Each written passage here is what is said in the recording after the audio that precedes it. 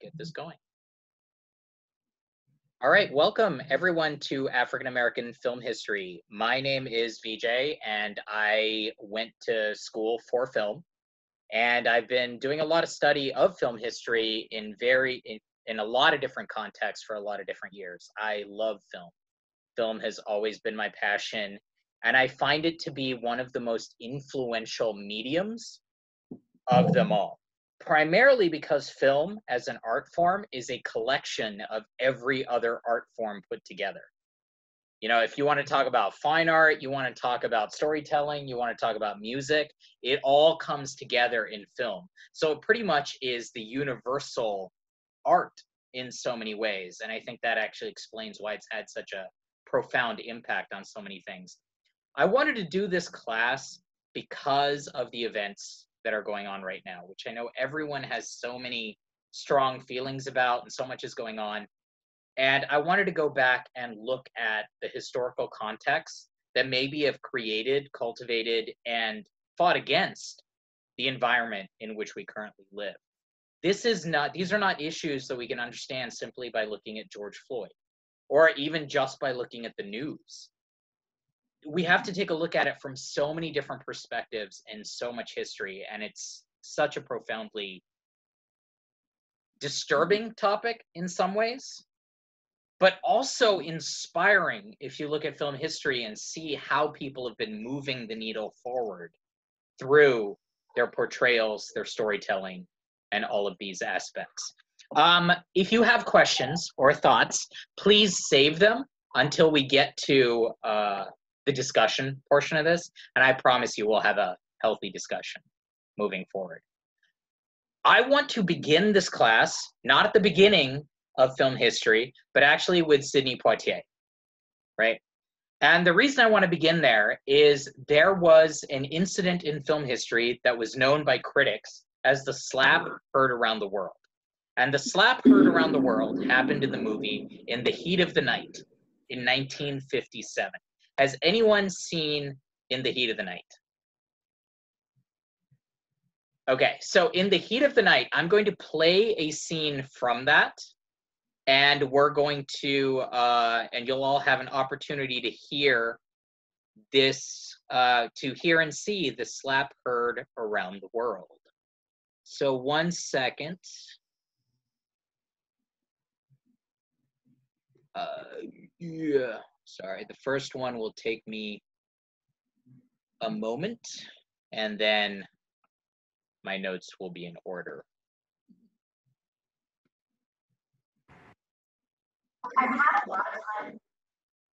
Okay, so here I go, sharing it.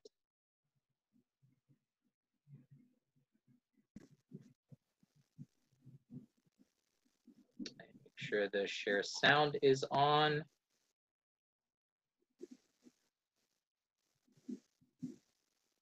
Time to think about what's important to me. I'm choosing more thoughtfully these days. Have you? Why'd you two come here?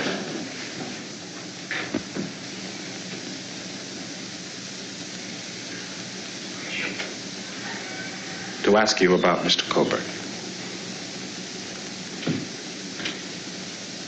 Let me understand this. You two came here to question me? Well, your your attitudes, Mr. Endicott, your points of view are a matter of record. Some people, well, let us say the people who work for Mr. Colbert might reasonably regard you as the person least likely to mourn his passing. We were just trying to clarify some of the evidence. Was Mr. Colbert ever in this greenhouse, say last night about midnight?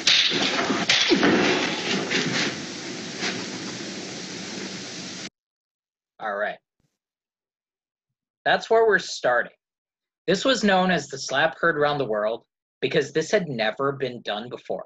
Think about that. This had never been done before, where a black man had slapped a white man, especially one without getting punished for it.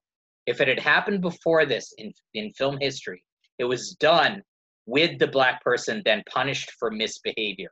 This was the first time that a black cop struck a white witness who slapped him first. Right? Let's not forget that. But it slapped him first. But it was seen as the right thing to do and the good thing to do. This was a shot across the bow for a lot of things. It I it was a demarcation point. Pretty much you can split African American film history into everything before this and everything after this. Right? And we're going to talk about why this moment was so profound. But this is the moment that the first half of this lecture is leading up to. And the funny thing is, looking at it from 2020 eyes, it doesn't seem like that big a deal. Right?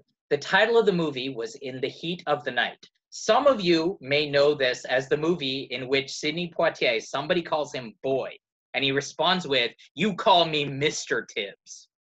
Right? This was then parodied in The Lion King, where somebody calls Pumbaa a pig, and he says, You call me Mr. Pig. Right? Um, so, but this is the movie where that comes from, In the Heat of the Night in 1957. So, let's go back. Let's we need to understand why this is such a profound moment in African American film history. African American film history, the first half of it especially, really comes down to one thing, and that is the threat of the black male. Okay? And the reason it begins here is because of a man named D.W. Griffith. Now, this is a very popular thing. A lot of people know about this, so I'm not going to spend a lot of time on it. But the first epic film in all of American film history was called Birth of a Nation. Everyone's heard of Birth of a Nation? Birth of a Nation was a three hour long silent film directed by, I want to call him the Steven Spielberg of his day. In Birth of a Nation, the close up was invented. The montage of battle sequences was invented. How a battle sequence was shot was invented. Right? The epic was invented. How you define an epic film was invented. And all of this happened in The Birth of a Nation. The Birth of a Nation's original title was The Klansman. And the reason it was called The Klansman in its original form was the movie was split into three parts. Two of them were historical the assassination of Lincoln by John Wilkes Booth and the Civil War.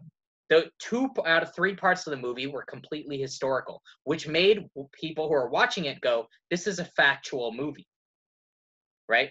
The third part was about a bunch of recently freed black slaves threatening to rape white women who were daughters of plantation owners and in order to defend their honor, a group of heroes put hoods over their heads and formed the Ku Klux Klan. The birth of the Ku Klux Klan is the heroic and triumphant climax of the first epic film ever made. Okay, I'd like to show all of you the. Let me go here. I want to show all of you the poster for Birth of a Nation. Uh, you can you can actually watch the film online. It is still known as one of the most influential and popular uh, films in all of history. So as this opens up, let me pull this up. Go. So this is the poster here for Birth of a Nation right? D.W. Griffith's American Institution, The Birth of a Nation, the supreme picture of all time. And then you got the guy in the hood riding the horse, right? This is how film history started with the threat of the black male over the white women and the white men who had to defend the white women from the black male. That was the first iconic film, right? It was considered the greatest film of all time for decades. So that's the context. That's where we begin. All right, so if that's where film history begins, now I want to go back even farther and I want to speak about two entities. Uh, the first of these is little actualities. Does anyone know what an actuality is? When movies were first created in the 1900s, invented by Thomas Edison, actually, the first projector and uh, movie camera was invented by Thomas Edison using technology created by Edward R. Murrow. The first, uh, Thomas Edison teamed up with a director named Edwin S. Porter. And one of the, and they made a lot of little like comedy films, minute long, less than a minute long, you know, a little bit more than a minute long. Those were the first movies, right? This is before movies had any length. Shooting a one minute long movie was a big deal. So I'm going to show you all a uh, one of Thomas Edison and Edwin S. Porter's first uh, first movies here.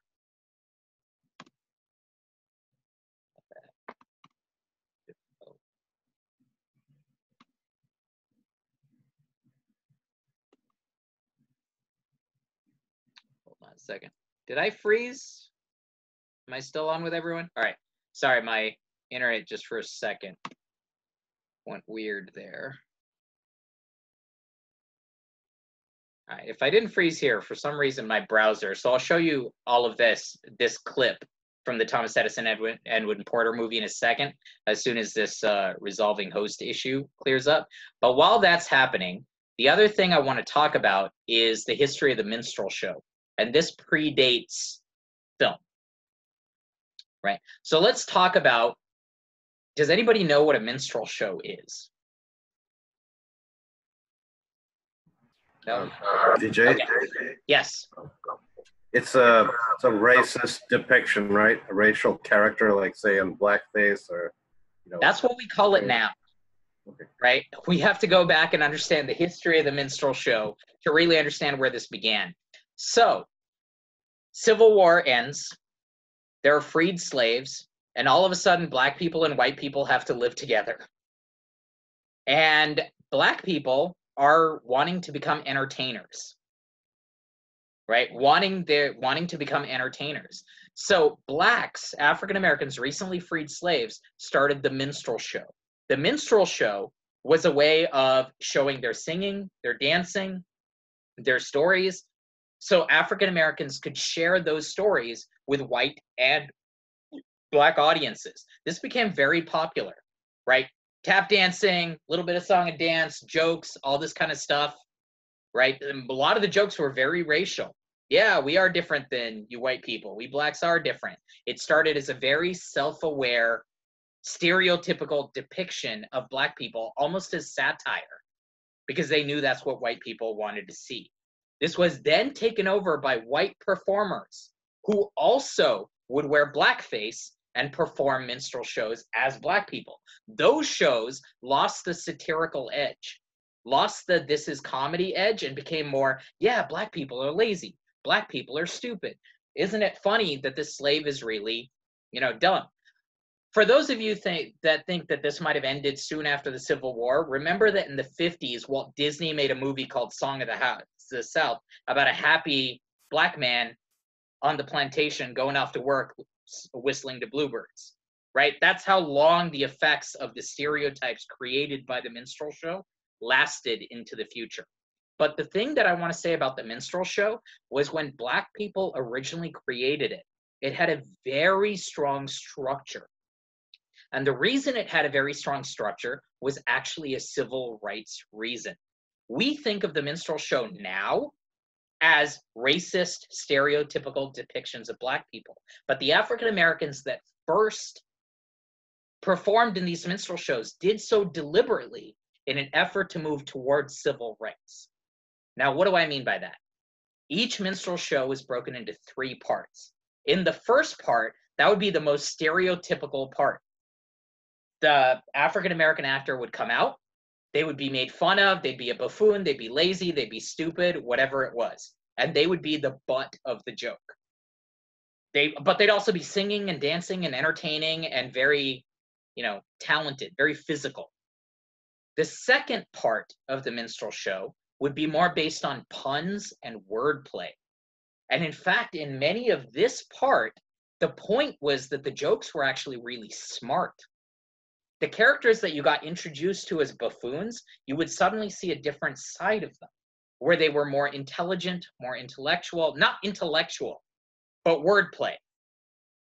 Right? They might not even, the characters in the minstrel show might not even understand the joke, but the audience would. And of course, the actors were the ones writing the material and making those wordplay jokes. And then the third part would be a satire of plantation life And what that is, is a satire of slavery. The third part of the show, it would be misunderstandings between the massa and the slave, differences between the field slave and the house slave. All of these kinds of things would become fodder for the closing climactic joke. Now, why was it structured this way? And this is very interesting and very uh this is very interesting and very interesting to note is that the character that started off as the buffoon, then we saw another side of them and we liked them. And in the third side, the white audiences would be experiencing slavery from the point of view of the black characters as a satire of plantation life. Does that make sense? In a very strategic three part way, the minstrels were making white people identify with black people. Yeah, we're the buffoon. We're safe. Come on in. Water's fine. And then all of a sudden, now you're thinking like us. Now you're understanding us. Now you're seeing our viewpoint of plantation life. Yes? Everyone's following along? Okay, let me see if uh so we cut ahead to 1903. Why is this not working? Hold on, I'm going to oh. I think I figured out why it's not working.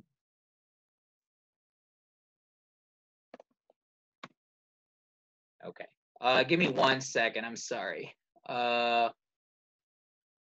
I must have saved the wrong URL here. Okay, I don't need to worry about. And you can see, uh, you will see that when I share this video, Thomas Edison's name is proudly on this uh, very short film. It's a minute and two seconds long. It is silent.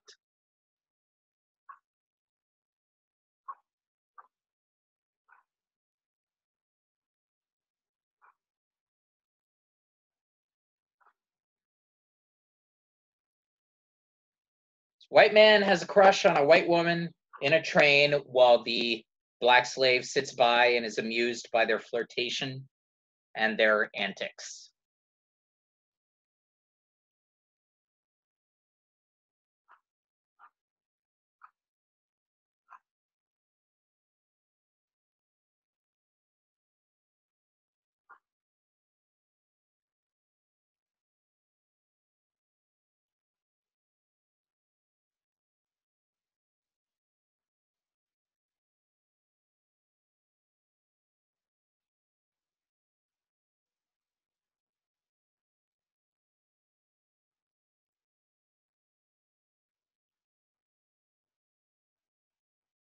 Okay. That's it. That, folks, is the first interracial kiss in film history. Okay. So let's uh let's talk through that. Uh first off, by the way, Edwin S. Porter thought of himself as a progressive revolutionary because at least he was showing a black woman and a white woman sitting next to each other on a train in the same compartment. This was seen as progressive and liberal, not as backwards. Edwin S. Porter wasn't trying to make fun of black people in his eyes, right? When he directed this, in his eyes. And yet, what you could see is at the end, the white guy is so disgusted by the fact that he kissed a black woman on the cheek that he has to spit into a newspaper, right? That's 1903, right? So, just trying to give a little bit of context where this begins. Also, just so you all know, interracial couples, interracial relationships, which was commonly known back then as miscegenation, right? That was straight up against the law, right? To actually have whites and blacks in romantic liaisons, that was against the law. And it was very frequently what black men were getting lynched for. 60% of lynchings happened because a black man looked at a white woman the wrong way. So we're going to come back to this uh, interracial aspect frequently throughout all this, right? So now let's move on to uh, now. Uh, then we had Birth of a Nation, which was in 1915. Oh, by the way, the thing about Birth of a Nation that I also want to point out is that the movie was huge success, biggest blockbuster that anybody had seen. Nobody had seen anything love, like it. They loved Birth of a Nation, except for one group of people, and those were largely African Americans. The NAACP was a fledgling organization at the time. For those of you that don't know, the NAACP is the premier black rights organization in the US. The NAACP, which had just been started, didn't like Birth of a Nation. And so they picketed outside of the theaters a couple of times when Birth of a Nation was shown. A lot of black people were critics of Birth of a Nation, originally titled The Klansman. This made D.W. Griffith feel so persecuted because people that weren't understanding him that his next movie was called Intolerance. And it was all about how people were intolerant to other people. And he told everyone, it's like just the way that people are intolerant of me. I made a movie in which you can see how people are intolerant toward Jesus too. He literally made a movie comparing himself to Jesus because people said that his movie was racist when he made a movie about the start of the Ku Klux Klan. Right, he became the persecuted party in the story. So I don't want to be under the impression that Birth of a Nation was created and there was there was a little backlash, but it didn't make black people were not seen as the victims of this film ever in for the first 3 decades. D.W. Griffith was seen as the victim of this film because his genius was just not being acknowledged by these troublesome blacks who couldn't understand why the Ku Klux Klan was so great. Right? So that's that's where we begin. We have intolerance, all of this kind of stuff. Um, I want to move on to Lincoln Perry. Has anyone ever heard of Stepin Fetchit? No. Stepin, yes, I have. Uh, so we've had one person, Stepin Fetchit. So Stepin Fetchit was a character created by a black actor named Lincoln Perry. And Stepin Fetchit was the laziest man in the world right? In fact, the running joke was Stepin Fetchit was the laziest servant in the world. Right? Uh, the laziest servant in the world. And it was never quite made clear whether Stepin Fetchit was a slave or a servant in the early in the earliest Stepin Fetchit movies. All it was clear was he was lazy and tried to get out of work. This is a legitimate black actor named Lincoln Perry who acted as Stepin Fetchit and created this character. Right now, we look back and we think of Stepin Fetchit as gross. How could any black actor have done that? But I want to point out a few things. How did a minstrel show begin in the first act? Right? And these are the traditions that Lincoln Perry came from. What we are talking about is the strategic implementation. Birth of a Nation made Black people realize how marginalized they would be by the rest of the country. After slavery ended, they came off the off the plantations going, the North is going to be different, and it wasn't. And they went, how do we change this? And the tradition that they had, that they created in order to strategically defeat this, was the minstrel show. Lincoln Perry is still seen, despite having created Stepin Fetchit, as a civil rights activist It's crazy, right? He created one of the most stereotypical characters possible. And he's seen historically as a civil rights activist. And he was. He was super smart. He wrote articles and he played a lazy buffoon. It was the character that he happened to play because it was Act One of the minstrel show. Right? Lincoln Perry is also, I want to I want to uh, tell everyone, the first black actor to have a featured screen credit He's the first black actor to have his name on screen in the credits. Another little known fact about Lincoln Perry he's the first black actor to ever make a million dollars. Right? First black actor to ever make a million dollars. So when we talk about Stepin Fetchit, it's really easy to be like, looking back on it, going like, oh, that was horrible what Lincoln Perry did. But none of this stuff is easy, and none of this stuff is without complexity. Right? everything has to be seen white or black behavior from that time within a certain context right so uh i can one of uh what else did i want to say about lincoln perry uh oh in 1940 after decades of acting he quit acting for a while because they were never going to pay him as much as the white people next to him, and they were never going to give him credit above a white person. So he quit. He this very popular. So this is not a guy who's insensitive to racial issues. He didn't create Stepin Fetchit as like, oh, I just want to make money, right? He's a guy very aware of racial issues, yet creating this character, right? Um, and uh, the other thing about him, and this is a common a common theme that you're going to hear coming up today, which is an interesting theme that I want to talk about, is that he wasn't born in the US. Lincoln Perry was born in the Bahamas. Right? And then immigrated to the US when he was very young.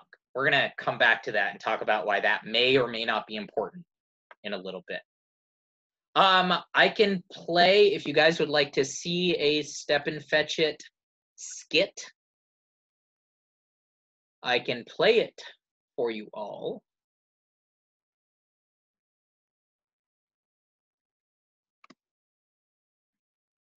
There's one innocent F word that turns a woman on and makes her start to chase you. Here we go. No, it's not that.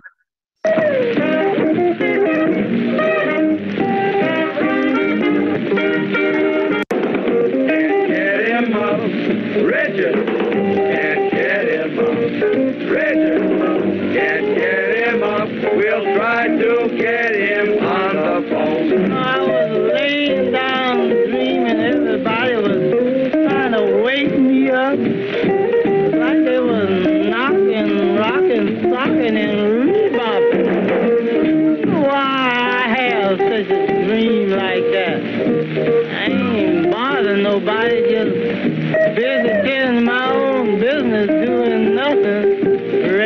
Resting up. Ring it. So that's about how he's due at a uh, at a performance, and he can't get out of bed, right? And that and he just doesn't want to get out of bed, right? And he's playing Lazy Richard. Now, two last things I want to say about Stepin Fetchit is the movie that clip that I just showed you. You know what the name of that movie is? Open the Door, Richard. Because the entire thing is about getting him up out of bed and getting him to open the door and head out the door, right? But that was a deliberate thing. Somebody asked Lincoln Perry years later in the 60s, right? Are you aware of the damage that you did to the black cause? And he said, No, I'm aware of the help that I did for the black cause. And I knew what it was because I named the movie Open the Door Richard. Right? He knew what he was doing was his claim that it was act one of the minstrel show. Right? The other thing that I want to say about uh, Stepin Fetchit is uh, after 1940, after he quit for a while, going, they're never going to treat me equally, no matter what I do. When he came back, he came back with the Stepin Fetchit character, but with a different twist on the Stepin Fetchit character. And in this twist, Stepin Fetchit had never been lazy. Stepin Fetchit just didn't want to work to make money for others through his labors and had been pretending to be lazy and had been resourcefully avoiding providing labor to others on his own back for so many years. There was a twist to the character when the character returned. There was a subtext to the character so that nobody could ever look at Stepin Fetchit again and go like, oh, black people are just lazy. No, no, he just outsmarted you. That was the story after 1940. Okay. Intolerance said, I'm sorry, Birth of a Nation said that we needed to be afraid of scary black men. Black males, especially, were very aware that they could not play threatening characters. They had to be safe characters. Because as soon as they were threatening, Birth of a Nation memories kept flooding back. That's how long of a shadow this movie had. Right? So, black people found as many ways as they could, black males especially, to be safe. Don't be angry on screen. You're too dumb to be a threat. You're too happy to be a threat. You're too anything to be a threat. Anything that they could think of as an adjective that fit there. They used that in order to avoid the threatening black man stereotype that had been created and perpetuated by Birth of a Nation. right? It was very important. The most important consideration for a black man to get ahead in the business was don't be threatening. Don't be threatening. The whites, if they the whites think that you're threatening, danger. Okay? So let's move on to Carolyn Snowden. Uh, Carolyn Snowden was born in Oakland, California, actually. Uh, born in 1900. She wanted to be an actress, African American woman, and uh, did what she could in order to enter the industry. Uh, she made a movie called Old Time Kentucky, where she played Lincoln Perry, Stepin Fetchit's love interest. Right? This is the first time that an on screen love relationship between two African American actors was shown. Before this, maybe you had a married slave or something like that, but you never actually saw them on screen together in any kind of intimacy, right? And we're talking about a hug. So this was the first time that people went, ah, this is what black people in love looks like. Right? And that was a big deal. That was a revolutionary thing that they did together. Carolynne Snowden also was uh she got her first big role in the famous director Erich von Stroheim's movie. She made a big stink because she wanted to be in a dressing room that was next to the White Stars because they put her all the way on the other side of the lot next to the bathrooms. And she felt that she had been in enough movies and enough things that she demanded a dressing room next to the White Stars. She got it. That was in 1932, 30 years before segregation ended. All right, that was a woman from Oakland, California. These are names that I feel like should be celebrated in film history so much more than they are. Uh, so when when I so Uma asked the question, what do I mean memories flooded back? I mean memories created by Birth of a Nation.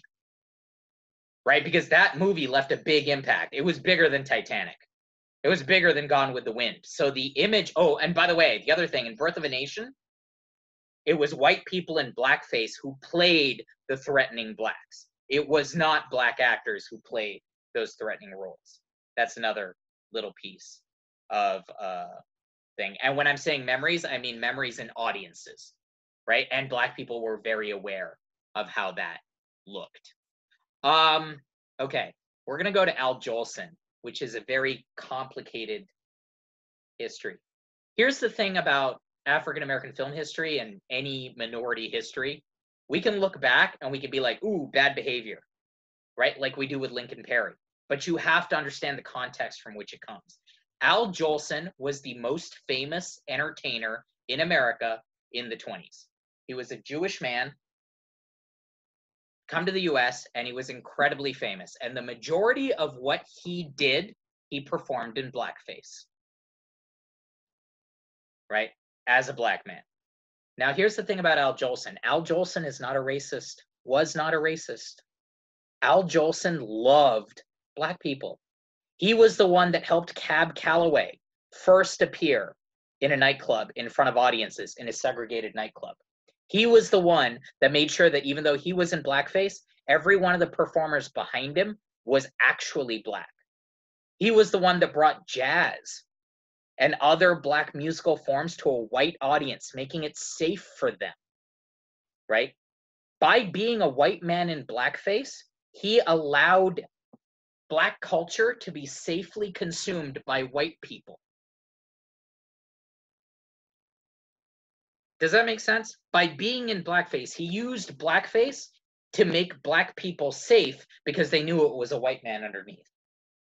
Right. Now, when I say that black, when I said the first epic in all of film history was Birth of a Nation, the first sound film in all of history is The Jazz Singer which starred Al Jolson.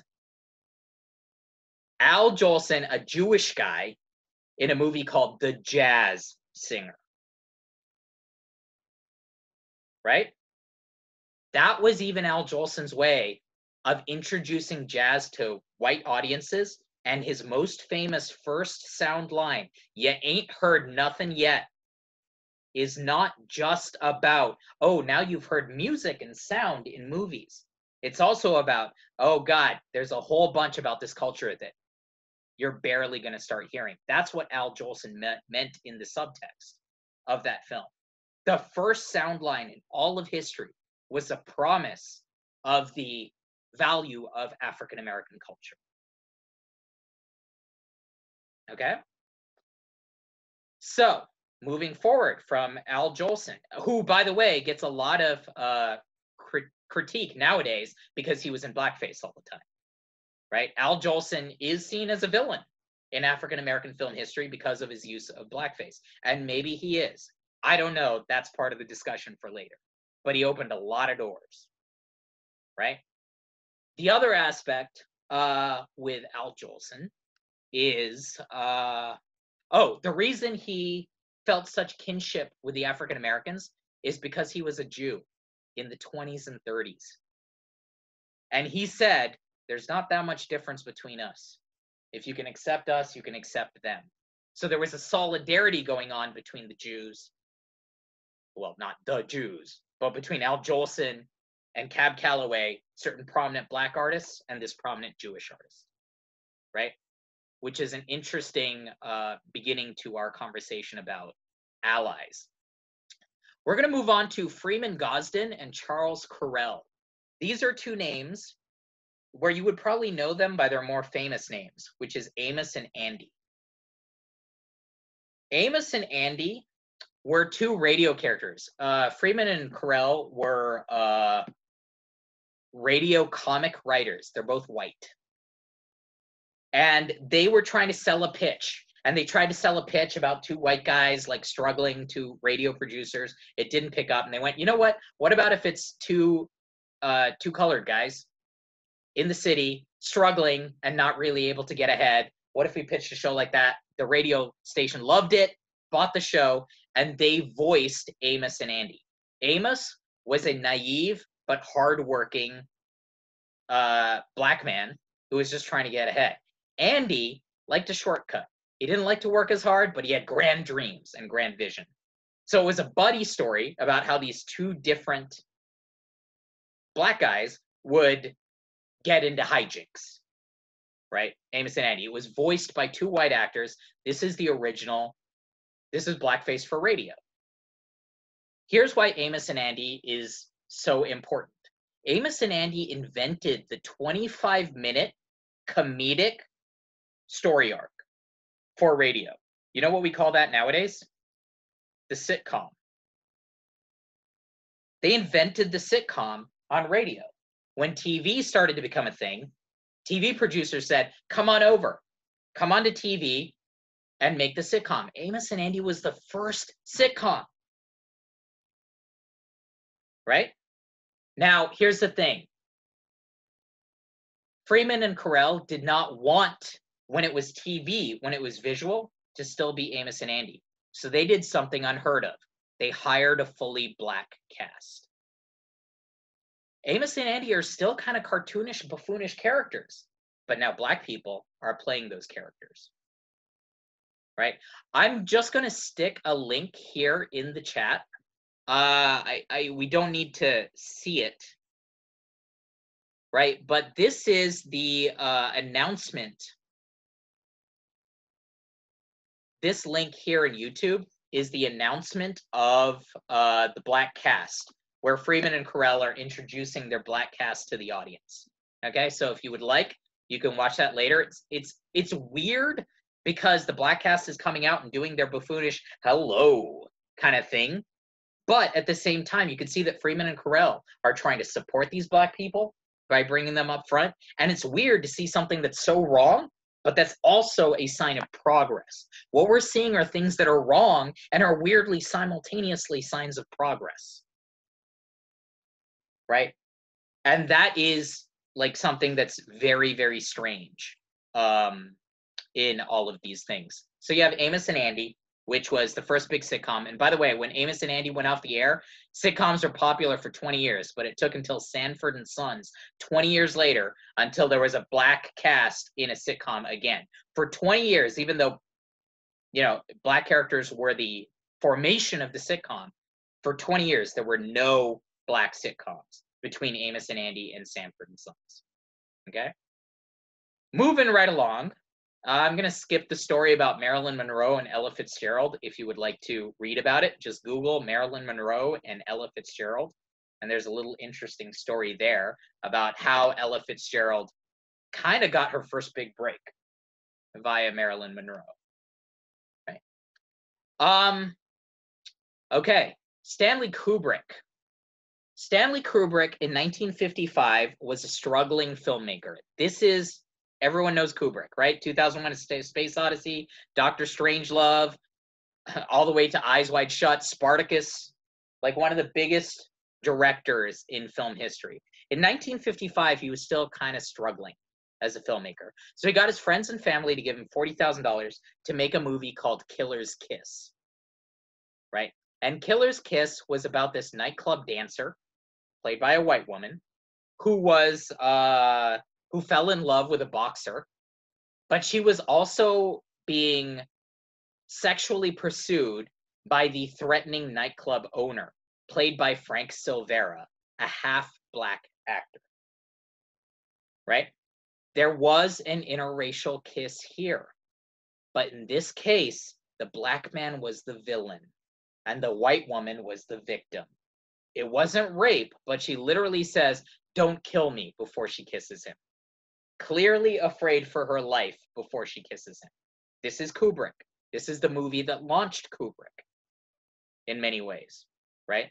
And so while you have these people like still trying to move away and trying to present black people as non-threatening you also have these other images coming in in the other direction right now before we judge frank silvera too harshly right for doing this role and things like that this is one of marlon brando's best friends he was known as one of the finest actors of his generation and there were very limited roles for black actors around and someone asked Marlon Brando. No, Frank Silvera didn't really speak about this, but someone asked Marlon Brando once, "Why did your friend Frank Silvera play that part if it was so destructive?" And Marlon Brando said, "Well, Frank and I both believe that the only way to change Hollywood is money, not imagery. So you take the money, you get the role, you get big, then they'll listen to you. So you do whatever you have to do in order to get big. That's what we believe. So it wasn't Frank Silvera in his eyes, selling out his race. It was just doing what he needed to do in order to get big enough where he could make a change. Right? You can look up Killer's Kiss, the trailer, on YouTube if you'd like to see how he was presented. Oh, also, Kubrick never said he was black in the movie. And because it was black and white, and Frank Silvera was kind of a light skinned black guy, and he looks fairly clearly black to me looking at it, but that was never like him being black was never specifically mentioned in the film. Right? Um okay. I want to talk about Dorothy Dandridge. Dorothy Dandridge was the first African American actress ever nominated for a Best Actress award, right? This was for a movie called Carmen Jones. Carmen Jones is a uh, is uh, Oscar uh, Oscar Hammerstein. It, it's the Hammerstein musical version of the original. That's oh Lucia. That's Elisa who's over there. She's listening. Um, it's Hammerstein's musical version of the opera Carmen, except it takes place in World War II in an African American neighborhood. Dorothy Dandridge played basically the African American Carmen and was nominated for the first time as uh, Best Actress. Now, the thing about Dorothy Dandridge is she's a light-skinned black woman. She is she was known pretty much as the first black female sex symbol. This was kind of brand new that white people would think that a black woman could be a sex symbol at this time. It's kind of crazy. Now, she was light skinned, so that helped. All right but she was she was very voluptuous and also in real life she dated white men most of her lovers were white men and one of the things that she really wanted to break was the taboo of interracial kissing on screen right so after she won her best actress nomination which Grace Kelly herself said that Dandridge should have won. Right? Uh, Dorothy Dandridge went, okay, how do I make it happen so that I can kiss a white guy on film? Because that's the next taboo that needs to be broken. okay. Um, so that was so that uh, Carmen Jones came out in 1954. Uh, so, oh, by the way, she also hated that Carmen was marketed this way. This was the tagline for Carmen, Carmen Jones. That man crazy, dazzle dancing gal, sultry and savage, incendiary, whirling through a jungle world in Bizet's pulsing beat and blood surging musical. All right. The word jungle was literally in the marketing for Carmen Jones. Okay. Uh so uh brr, three years Dorothy Dandridge took a leave of absence from filmmaking. The reason she took the leave of absence is because she kept looking for the role where they would cast her opposite a white man. In 1957, after a three year absence, there was a movie called Island in the Sun, where she played a West Indies native who has an affair with a white man. However, the motion picture production code had strict rules about how interracial relationships were presented. So instead of a kiss, instead of all of that, the actor John Justin, the white character, has a scene in which he vaguely expresses his love for her. And that's it. No kiss, nothing else. Everything else was taken out of the film. This caused Dorothy Dandridge in 1958 to go work on a French production where she was finally allowed to lock lips with a white man. Right? And that movie was released later in 1959, not su- uh, subject to American production codes because it had been created in uh, France with French money. Right. So, Dorothy Dandridge, the other thing I want to point out is that her career kind of tanked after all of this because she was seen as a troublesome black woman who was making too many unreasonable demands about what her character needed to be and all this kind of stuff. So when she died, which was there was an accidental drug overdose, could have been suicide, kind of like a weird Heath Ledger kind of thing. She died, she had less than she had a little more than two dollars in her bank account. That's how Dorothy Dandridge went out. Okay. All right. Moving on. Uh John Wayne, one of the heroes of uh, film history, is an admitted white supremacist. He told Play- Playboy that he was a white supremacist and he believed that whites were just better than the other races. You can kind of see this in his movies.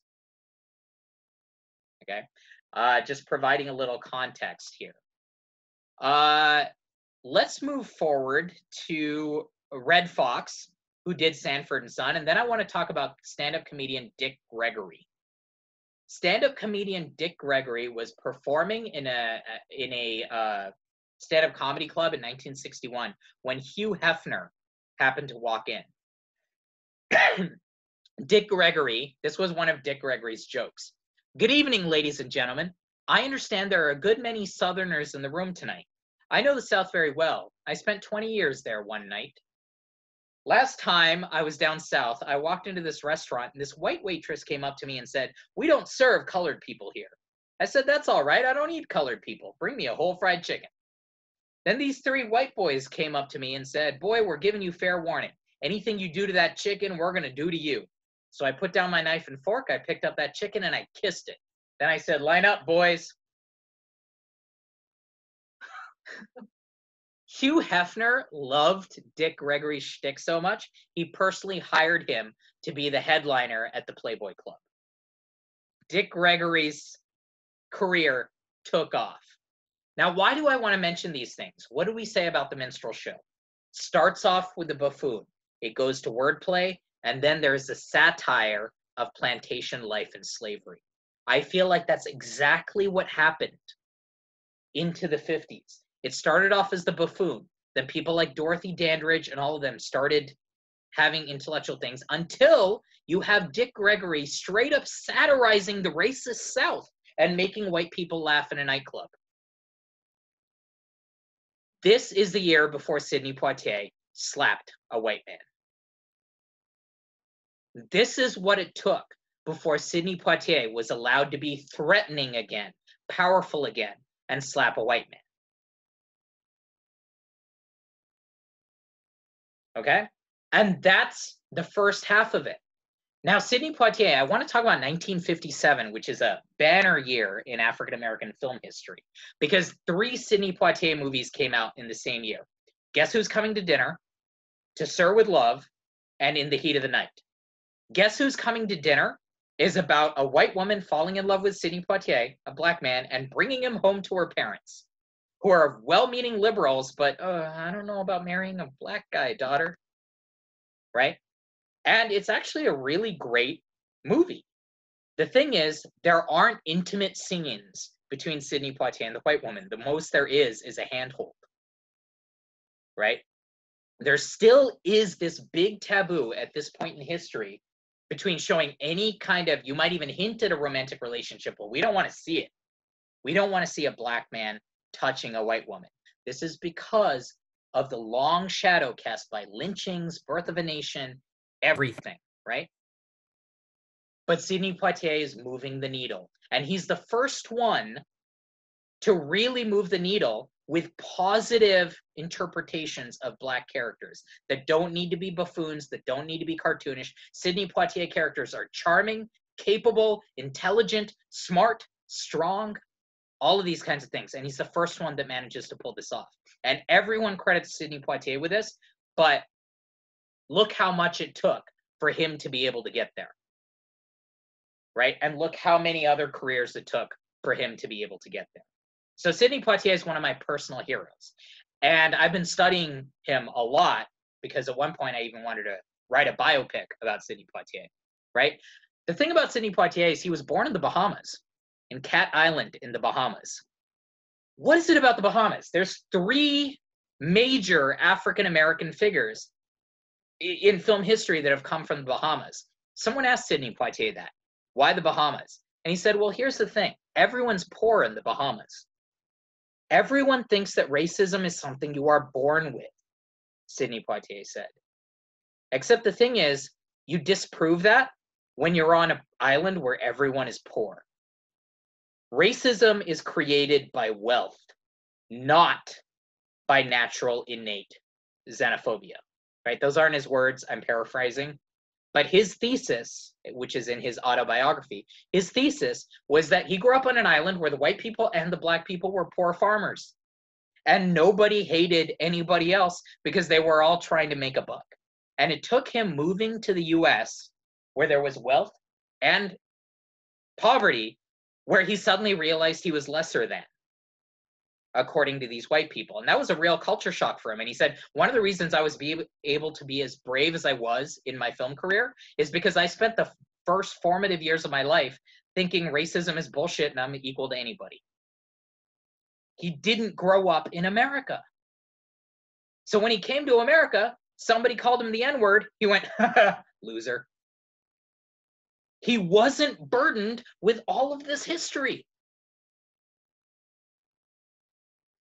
And that's a very interesting thought to me. This idea that racism is not born in us, but actually requires money, either an income disparity or just the existence of wealth at all, in order to turn racism into a thing.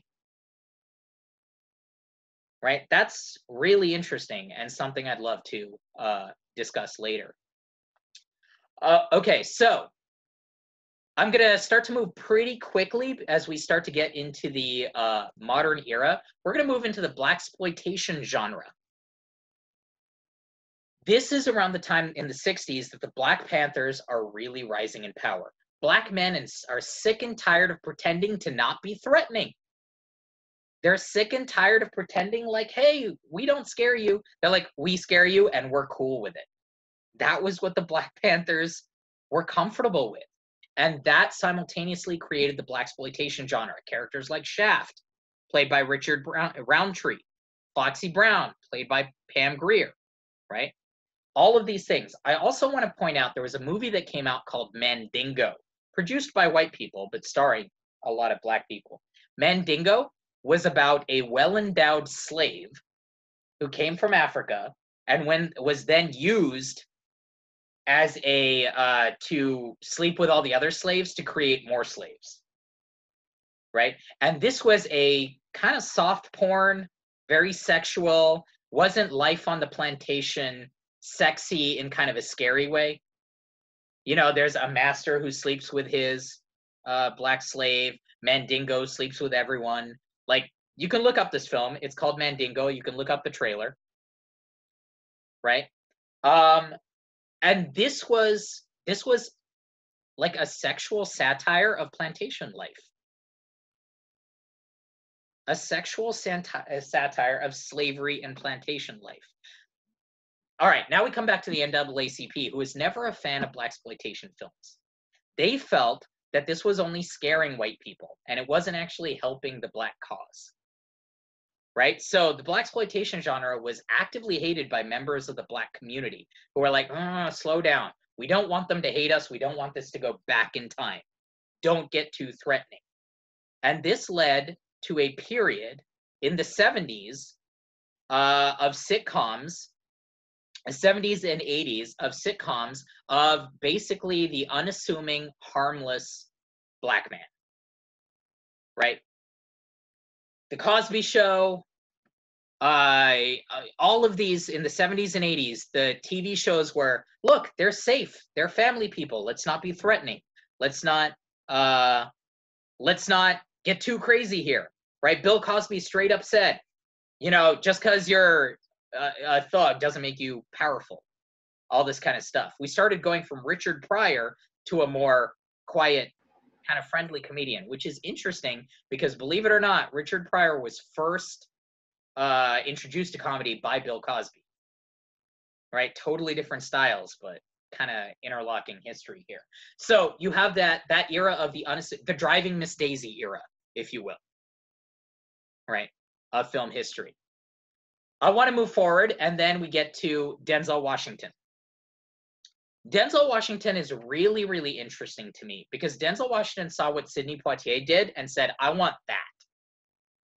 But Denzel Washington was also very aware of how Black people were being presented, right? So if he started to see that uh, Black African American actors and males were being presented as flawless, the magical black man, the driving Miss Daisy black man, he played flawed characters right? I mean, he's played a lot of flawed characters, whether in Out of Time, you know, it, they're people that are cheating on their wives, all this kind of stuff. When people were afraid of black people being powerful, he made Malcolm X and those civil rights movies. He did everything he could to show the different side of the African American experience than the stereotype at the time. And that's how he presented his three dimensionality. The other taboo that Denzel Washington wanted to break, which, by the way, a sex scene between a black man and a white woman was still a difficult sell right now. They've done it in like Mandingo style movies, but when we're talking about the big blockbusters, mm, we don't need that. Denzel Washington was supposed to have an on screen kiss with white actress Embeth Davidson Fallen. It was removed in the script phase. In the movie Man on Fire, in I think that was 2004, right? He had a kiss with Rod Radha Mitchell. That was filmed. You can see the deleted scene. It's really innocuous. They're kissing in a car, right, while it's raining outside. You can hardly see anything. That scene was cut out of Man on Fire in 2004. Right? Because why do we want to complicate this action movie with a kiss between a white man and a, a black man and a white woman? Right? Denzel Washington frequently had to play romantic interests with Puerto Ricans, with Hispanics, with a lot of this type because it's like, look, look, Denzel, that's fine for those little movies, but this is a big blockbuster. We need everyone to like it, right? That can't be done. So Denzel Washington's biggest interracial relationships are in Spike Lee movies that are meant to challenge and provoke right? Malcolm X, because Malcolm X in real life was sent to jail for being with a white woman, so you can't tell the Ma- Malcolm X biopic without doing that scene, right? And in He Got Game, he's literally in uh, bed with two porn stars, actual porn stars, who were cast as extras in that role. Because you wouldn't want, I mean, it was very difficult to get a white actress to agree to do that naked scene for just that moment with a black man and not really have another part beside that. So they cast porn stars in that part. Right? This is all, and that was in He Got Game. This is mind boggling. Right? So finally, I want to come to Will Smith as we're moving through history. And by the way, I know I'm skipping so much. I know I'm speeding through so much because if we were to talk about every single person, this is this is a year long class. So I'm just trying to go through the big points and the big evolutions as best as I can. Will Smith, so we went from all of these people to Sidney Poitier to Denzel Washington, and Will Smith basically from a, a very young age went, I want to do what Denzel's doing, but bigger. I want to do the biggest movies, but with all of these things. And Fresh Prince was successful, so he was able to do Independence Day, which I just recently rewatched Independence Day. It's stunning to me that Will Smith isn't introduced in that movie for the first 22 minutes. They introduce all the white leads in that film. They pretend that it's not a black lead blockbuster for so long before Will Smith comes on the scene. Right? And I actually think that's smart. I'm not knocking the makers of that film. I think that when they did these things, all of these things were strategic. They made a movie that played to Will Smith's strengths, but they knew at the time that marketing him above the fold would not work. Jeff Goldblum, on the other hand, white people love Jeff Goldblum. Right? So it's so it was a very like bait and switch. You think you're getting a Jeff Goldblum movie, haha, it's Will Smith. Right? You think you're getting the fly, you're getting the Fresh Prince right? And that movie made buckets of movie. That is the first movie with a black lead that broke over $200 million at the box office. Will Smith was the first bankable African American lead because of that movie. And July 4th was officially Will Smith Day. He released Men in Black on July 4th. He released the first Bad Boys on July 4th. Movie after movie. Every summer, Will Smith ruled, proving that white people would go see a movie, a big blockbuster movie with a black lead. Right? It wasn't until 2015, five years ago. Oh, in Men in Black 2, Will Smith has a romance with Linda Fiorentino, but it's just flirtatious talk. They never kiss, they never do anything. That's Men in Black 2. It wasn't until 2015 when Will Smith was in focus with Margot Robbie that he straight up had sex scenes with a white woman. 2015, five years ago. In a big budget, more than a $100 million film, where there was a love scene between a black man and a white woman. 1915, Birth of a Nation came out. 2015, Focus came out. A hundred years before a black man was able to romantically be with a white woman in a major Hollywood film. That is the shadow that Birth of a Nation cost, and how much work that all of these people had to do in order to get to the point where that was acceptable. Since then, what I'm encouraged by is since the advent of Will Smith and Independence Day and all of these movies, the world has changed a lot more quickly. What used to change over 30 years has been changing over five years right? I can't like turn on the TV without seeing interracial couples in every commercial, in every movie. Like it's it's just completely different now. Right? And that's good. I do want to say though, in the past uh in the past 5 years, there have been so many more in the past 10 years, there have been so many more African American male and female actors who have been nominated, who have won awards, who have headlined, and this is the important one, who have headlined big movies that have made a lot of money. Will Smith led to Chadwick Boseman in Black Panther, and a billion dollar movie. Right? Will Smith led to Idris Elba. Right? Uh, I want to talk, go back in time and mention a few other notable things. Laurence Fishburne in Othello in the 70s kissed a white woman.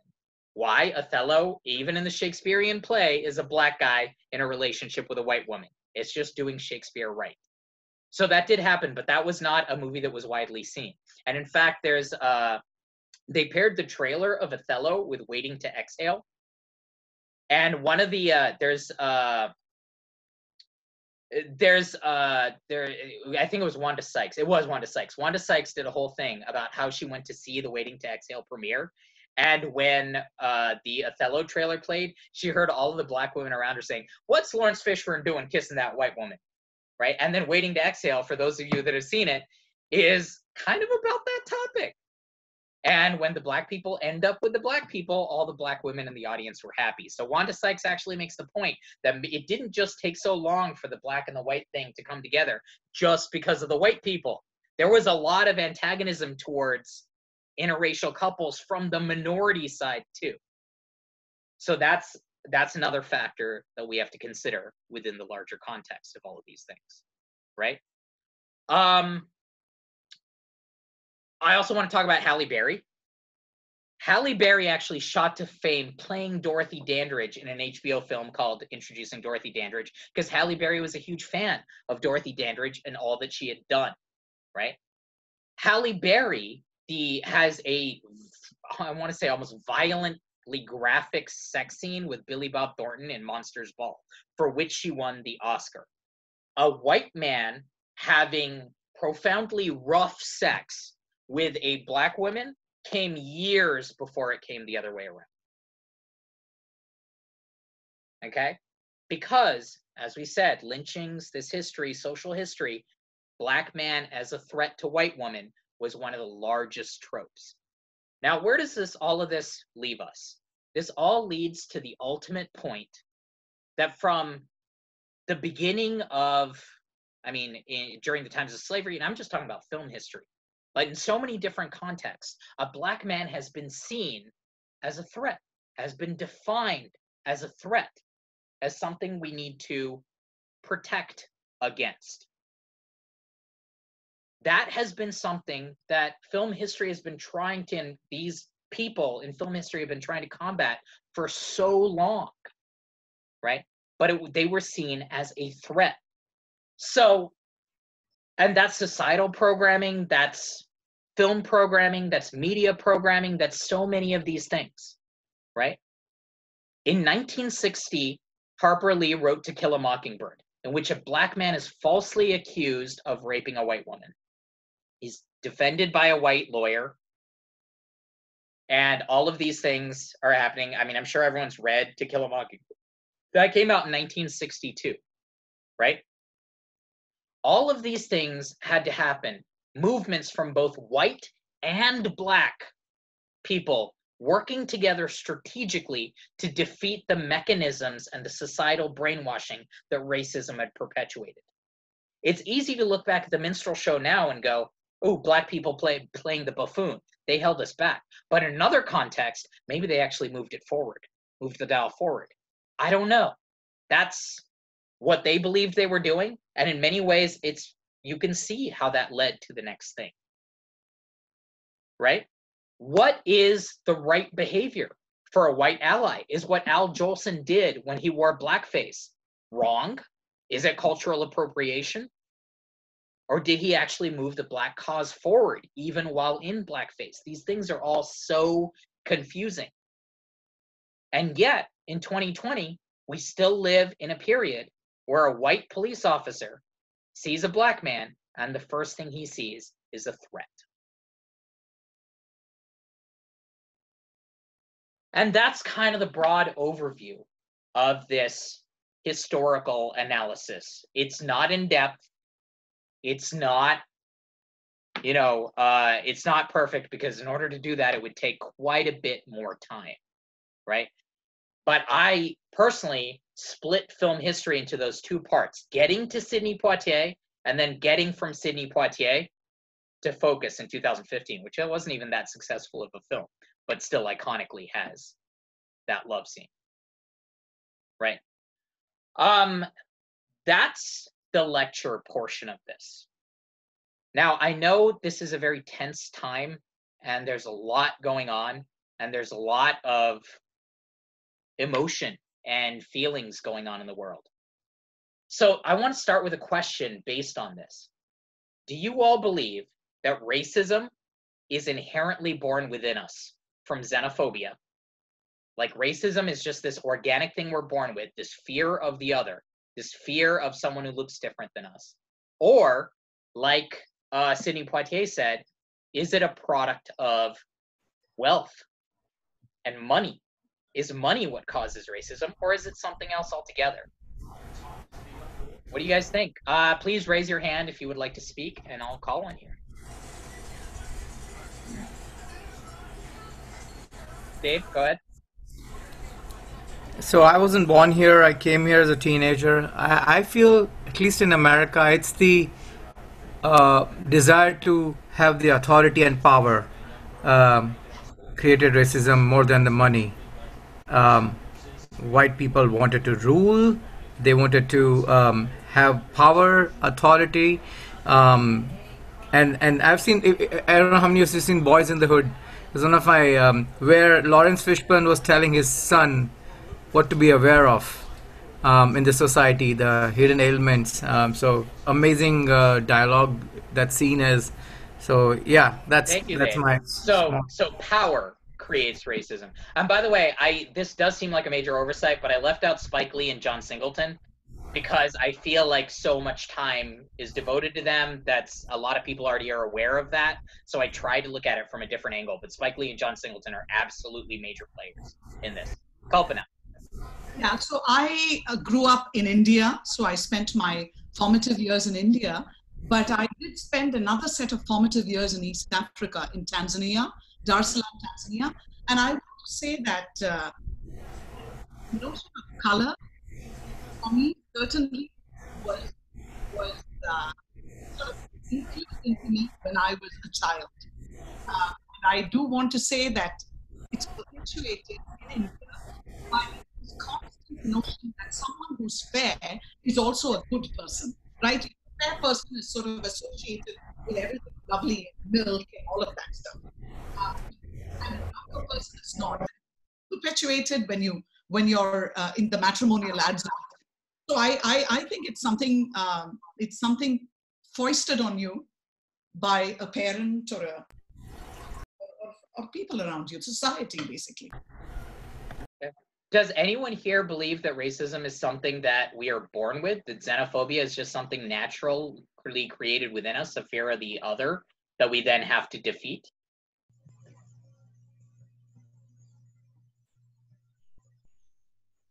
No one wants to take that one? Mm-mm. Interesting. Shelly, go ahead. I think it's passed down in our families. I think that even um, even if you think your your family is pretty progressive and um, and colorblind, that there are still biases or whatever that come through, and um, and certainly in some families and in some regions of the of our country for sure, it's more uh, you know racism is actually taught.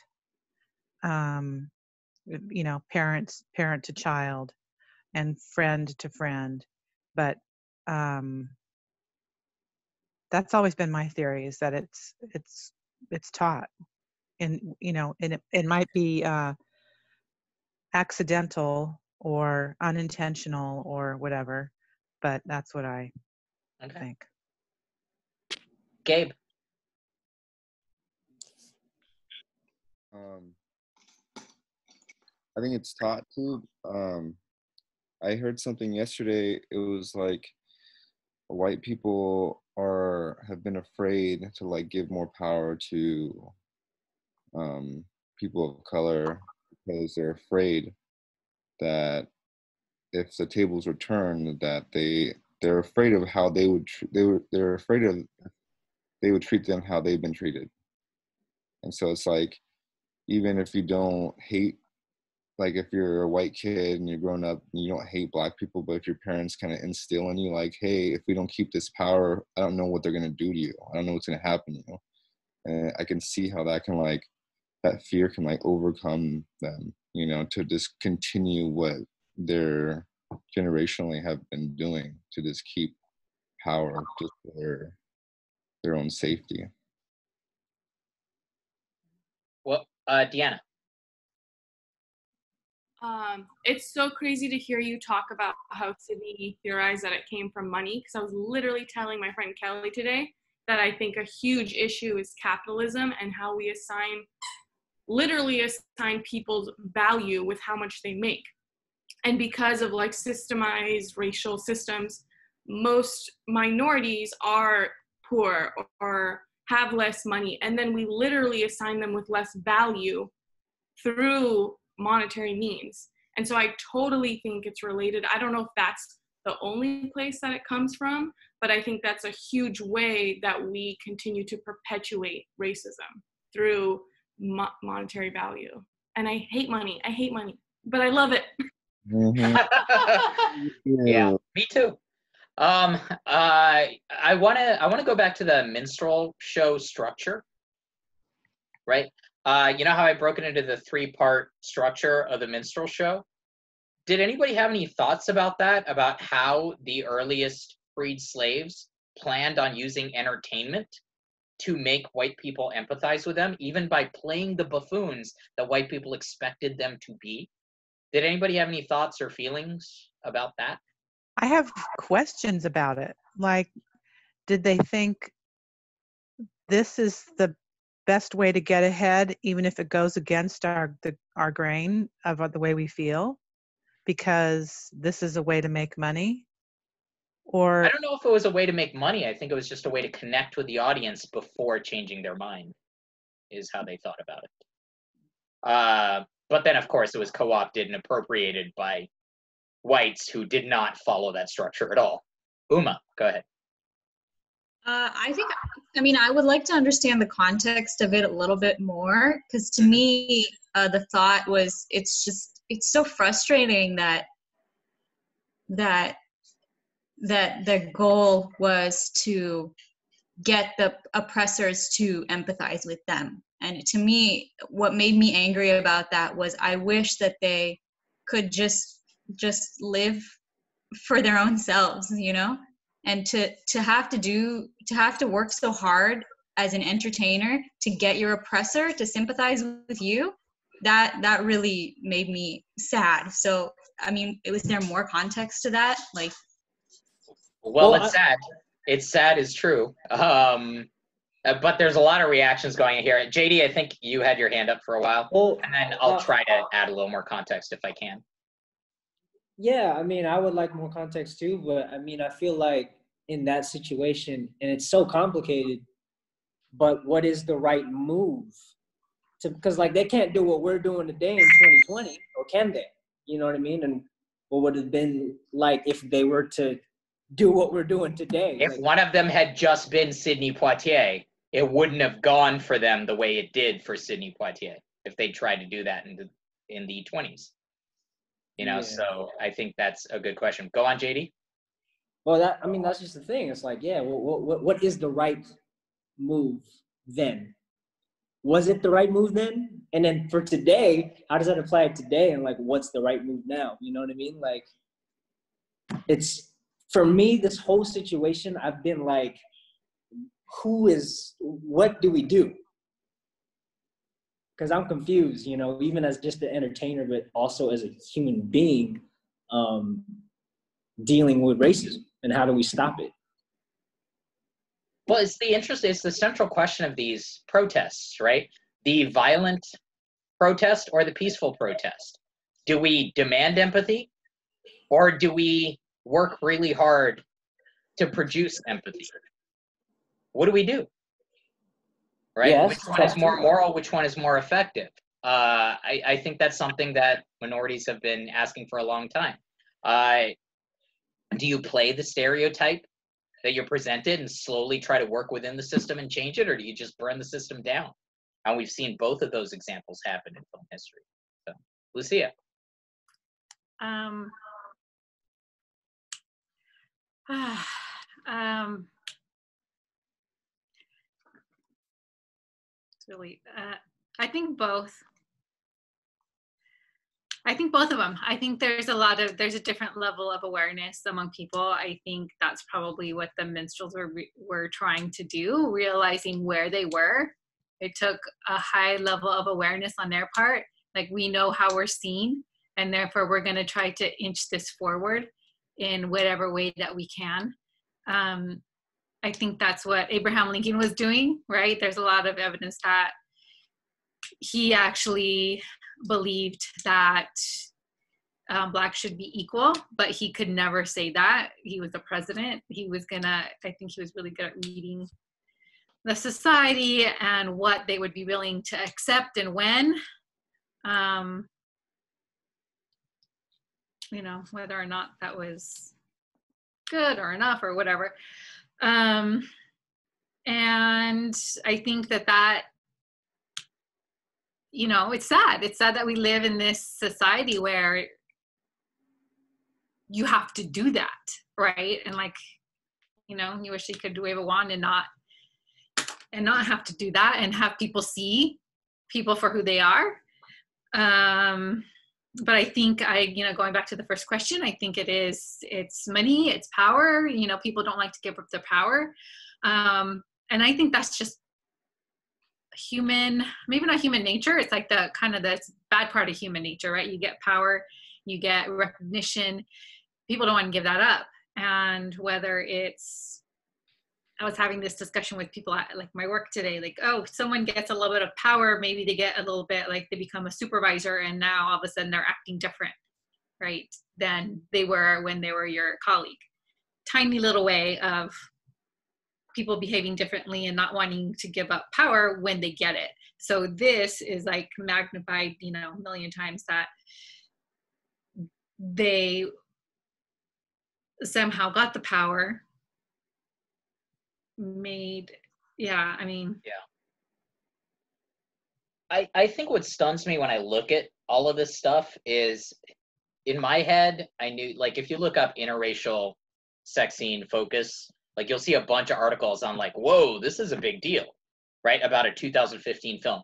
My head, when I was like putting together this class, I was telling Elisa, that's 2012, right? My head, five years had to become eight because there was no way that that was just five years ago. And it was just five years ago. And I think it's really, uh, I think what's really crazy about is how recent this stuff is.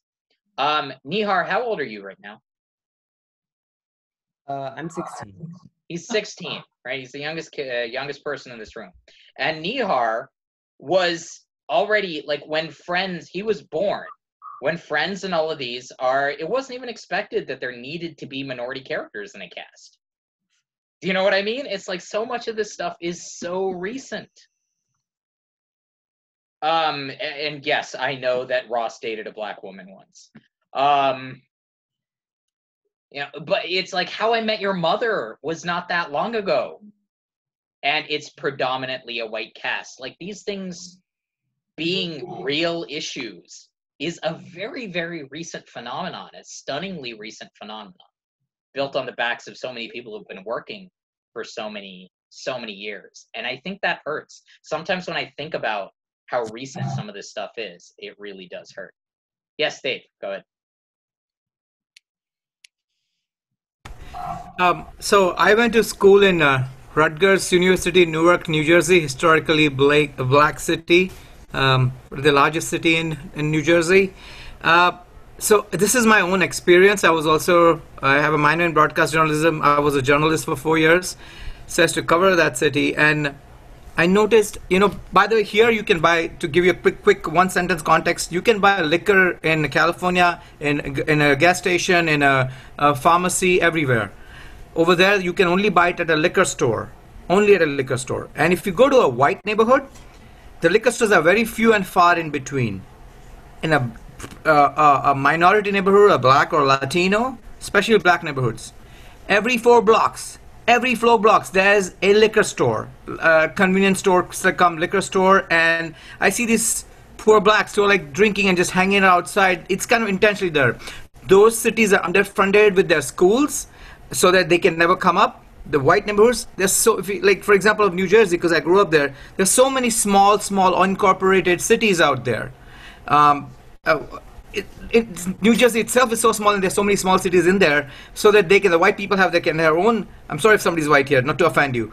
Their own rich neighborhood, protected, where if in get kind of if, if you want to buy real estate that is difficult for a black person it's also subtle and subliminal but very strategic and coming just one last thing and i'll mute myself and, and I, I as a as somebody wasn't born here i see uh, if you if you all of you see entertainment industry hollywood even bollywood hip hop is the foundation of entertainment in music.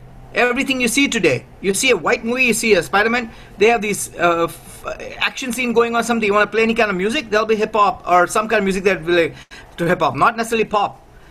But when it comes to black they are oscars majority time even today there are very few far between uh, thing goes to minorities so I, I just don't understand this Yeah, it, it- frustrates it's, me It's it's absolutely systemic, and that's I think that's what's really hard. You see the slow way, the slow way that Stepin Fetchit, and Step and Amos and Andy and all of this, the slow incremental way.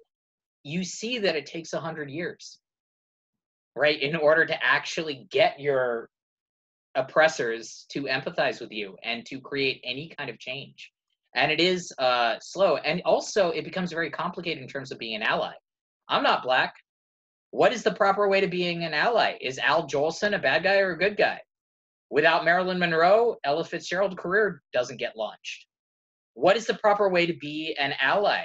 Al Jolson straight up culturally appropriated jazz in modern language in order to promote it. Bad guy, good guy, I don't know. Like it's I, I feel like part of the reason that it's so frustrating to be right now is we want change. So many of us want the same thing, but the hows and all of that are so clear. It's like to me, this isn't even necessarily a black versus white issue. I feel like every white person in this room, wa- you know, is absolutely on the same side that we all are. I'm Indian on the same side. It's all we're all united. But what do we do? Where do we go? And we can't even look back at our history and clearly say, this good strategic behavior led here. This bad behavior did not work.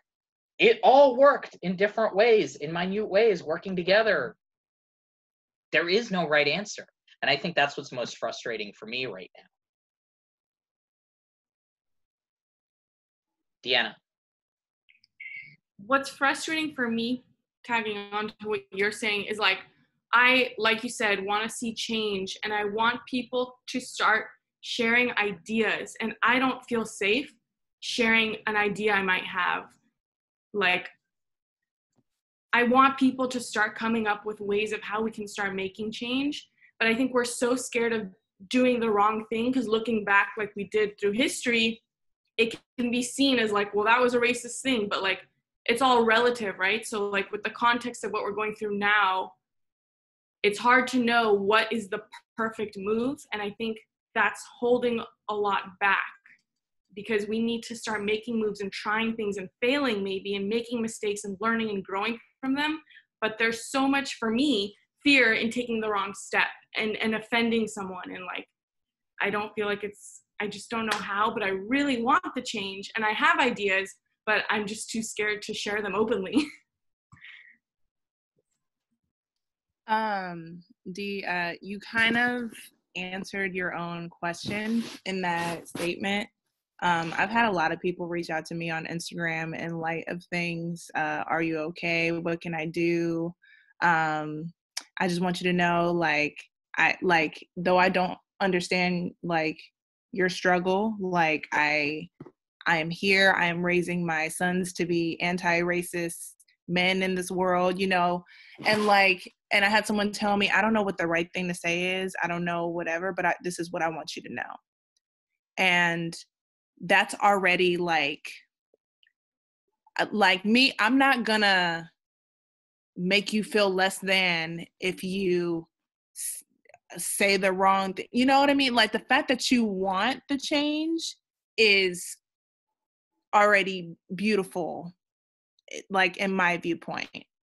Like it's and you gotta like surround yourself with people that like you feel safe around. Like you know you could always call me text me whatever. I'm never gonna be like oh deanna that was real racist. Why you say that? You know what i mm-hmm. mean? Like that's that's just not because i see that and i know when you're genuine and you're not trying to be, you know, have your own agenda to try to make me less than, you know, like, cause I just know you and I know your heart. So you can just call me anytime. But like, I think premising like, hey, I don't know what the right thing to say is, but this is what, this is what I would like to do. And I want to know your viewpoint on this. And whoever's offended by that, just, they just got some stuff they got to work on. Uma, I'm going to call on you in a second, but I want to bring back what Jennifer just said to the minstrel show because that I think is the context you're looking for, Uma. It wasn't necessarily creating a context within which your oppressors would have empathy for you. I think it was more creating a context in which there was a safe environment in which ideas could be discussed back and forth. Creating, you know, it's like, I'll give you this, and now we have an environment in which we're all safe where anything could be said right? And now I can talk about how much it sucked to be a slave and I can satirize plantation life. And if you could create that safe environment where everyone could communicate, then you've made progress. And I think that was actually the goal of the original minstrel, uh, minstrelry, minstrelry. That's a hard word to say. Minstrelry programs. Uh, Uma. Uh, yeah, yeah, and that's that's what film is, right? It's the it's that safe space for ideas to be shared. Um, but I want also to respond to Deanna and comment on the the lecture is what was interesting to me about all of the names you said, Vijay, is they all had these baby step goals in mind, like I want to have a kiss with a white man on screen. That's a very tangible, specific goal. You know, it's not, I want to end racism. It's not, I want everybody to be equal because it's like we don't know what that looks like. A black woman having a kiss with a white man on screen, we know exactly what that looks like. That's something we can now make moves to to achieve. And I think that's a really interesting takeaway from this is is I mean, you know, I have that helpless feeling too. Is like I don't know what to do, but but maybe thinking about it in terms of well, what are some tangible baby step goals that we can um, aspire to in order to achieve that can push the needle forward even more. Yeah, and I want to I want to comment on somebody like Kristen Bell, who, for example, seeks out projects since House of Lies uh, into The Good Place, and there's one more example I can't think of, she deliberately pairs herself in projects with romantically with black men. Right? Does anybody notice this about Kristen Bell? Like, look at the Good Place with. Yeah, Veronica Mars. There was uh, there was she even asked the showrunner Rob Thomas if there could, was there could ever be a possibility of romance between her and Wallace. And Rob Thomas said, uh, too early. And then starting since then, it's like since she's had more power, she has moved forward with that. You know so it's uh yeah there are there are allies it's crazy how many allies there have been in order to push the needle forward as well. African american film history is not just african american film history. You can't do it without talking about al jolson. Uh, any other thoughts any other feelings? Lucia? Yeah. So um just on that i mean i think that all that um, fits well. You all, you all know my my work, right? Social work. So when you're when you're um, looking to change ideas, when you're looking to change behaviors, um, there's this idea of name's escaping me now, but there's sometimes when you can make big changes right away, right? You can talk to somebody, you know, they have like a you know insight and they're able to make these big changes. Most of the time, the change is slow. So you kind of, the whole premise is um, with social work, with therapy, same thing. You start where they are, start where the person is. So if they're in this place where they're not like, you know, going back to you're saying the minstrel, they're not even seeing someone as a as a human or as like any way that you could get them to see and to inch forward that's what you do so nowadays um, kind of like uma was saying right? You see where are we now? How can we move forward? And right now there's so many people in so many different places. So for me that's what's um i get frustrated when people say like i want to unfriend someone my racist friend or my friend that said a comment that i didn't like and i see uh, white people say this.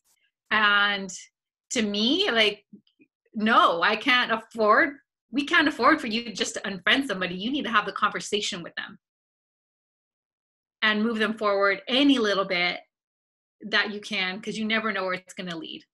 And that's one thing that I know and I've discovered some that sometimes you're not going to see what that conversation leads to. Um, they, you might even get an argument, you might even get defensiveness, but you don't know where they're going to end up when they leave you, right? In like the next week or the next year or whatever. Um, so for me, every conversation is a valuable one. Um, it's worth it to start, you know, explaining things. Um, I don't expect, like in this case, I don't expect Black people to do that.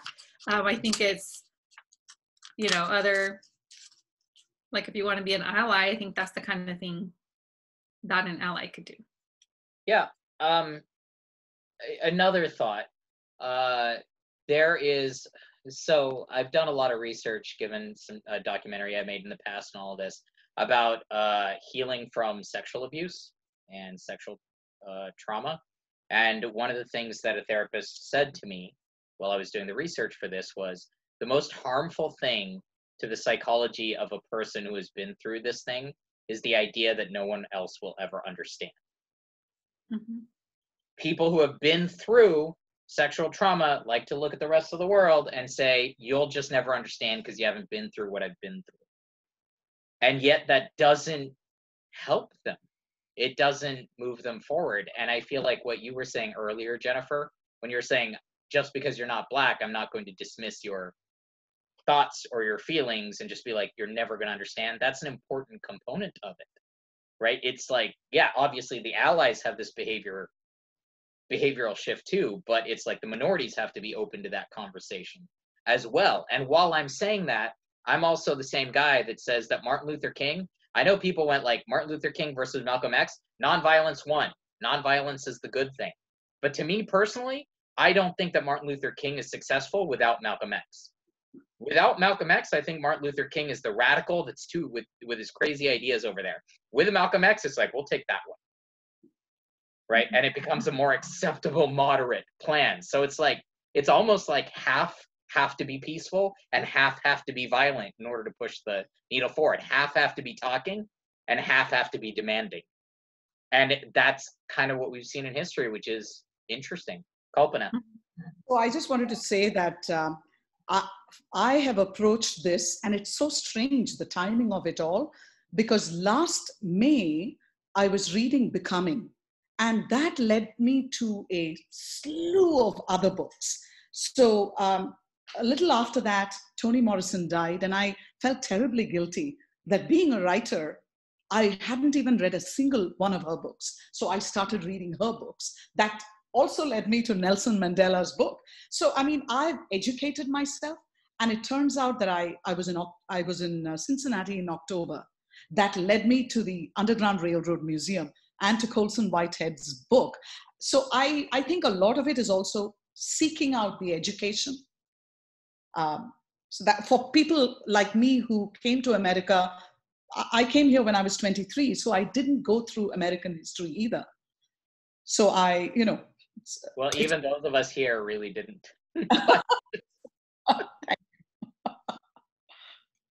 um, yeah, well, I and that's why I appreciate all of you taking time out of your evenings to come join us for this conversation. You know, uh, Jennifer.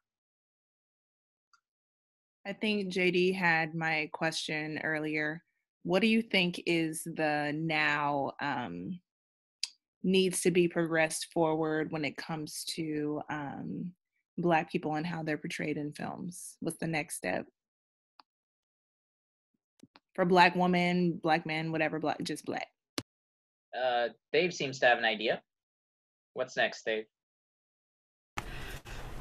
Besides people like spike lee i want more white people to make films on black.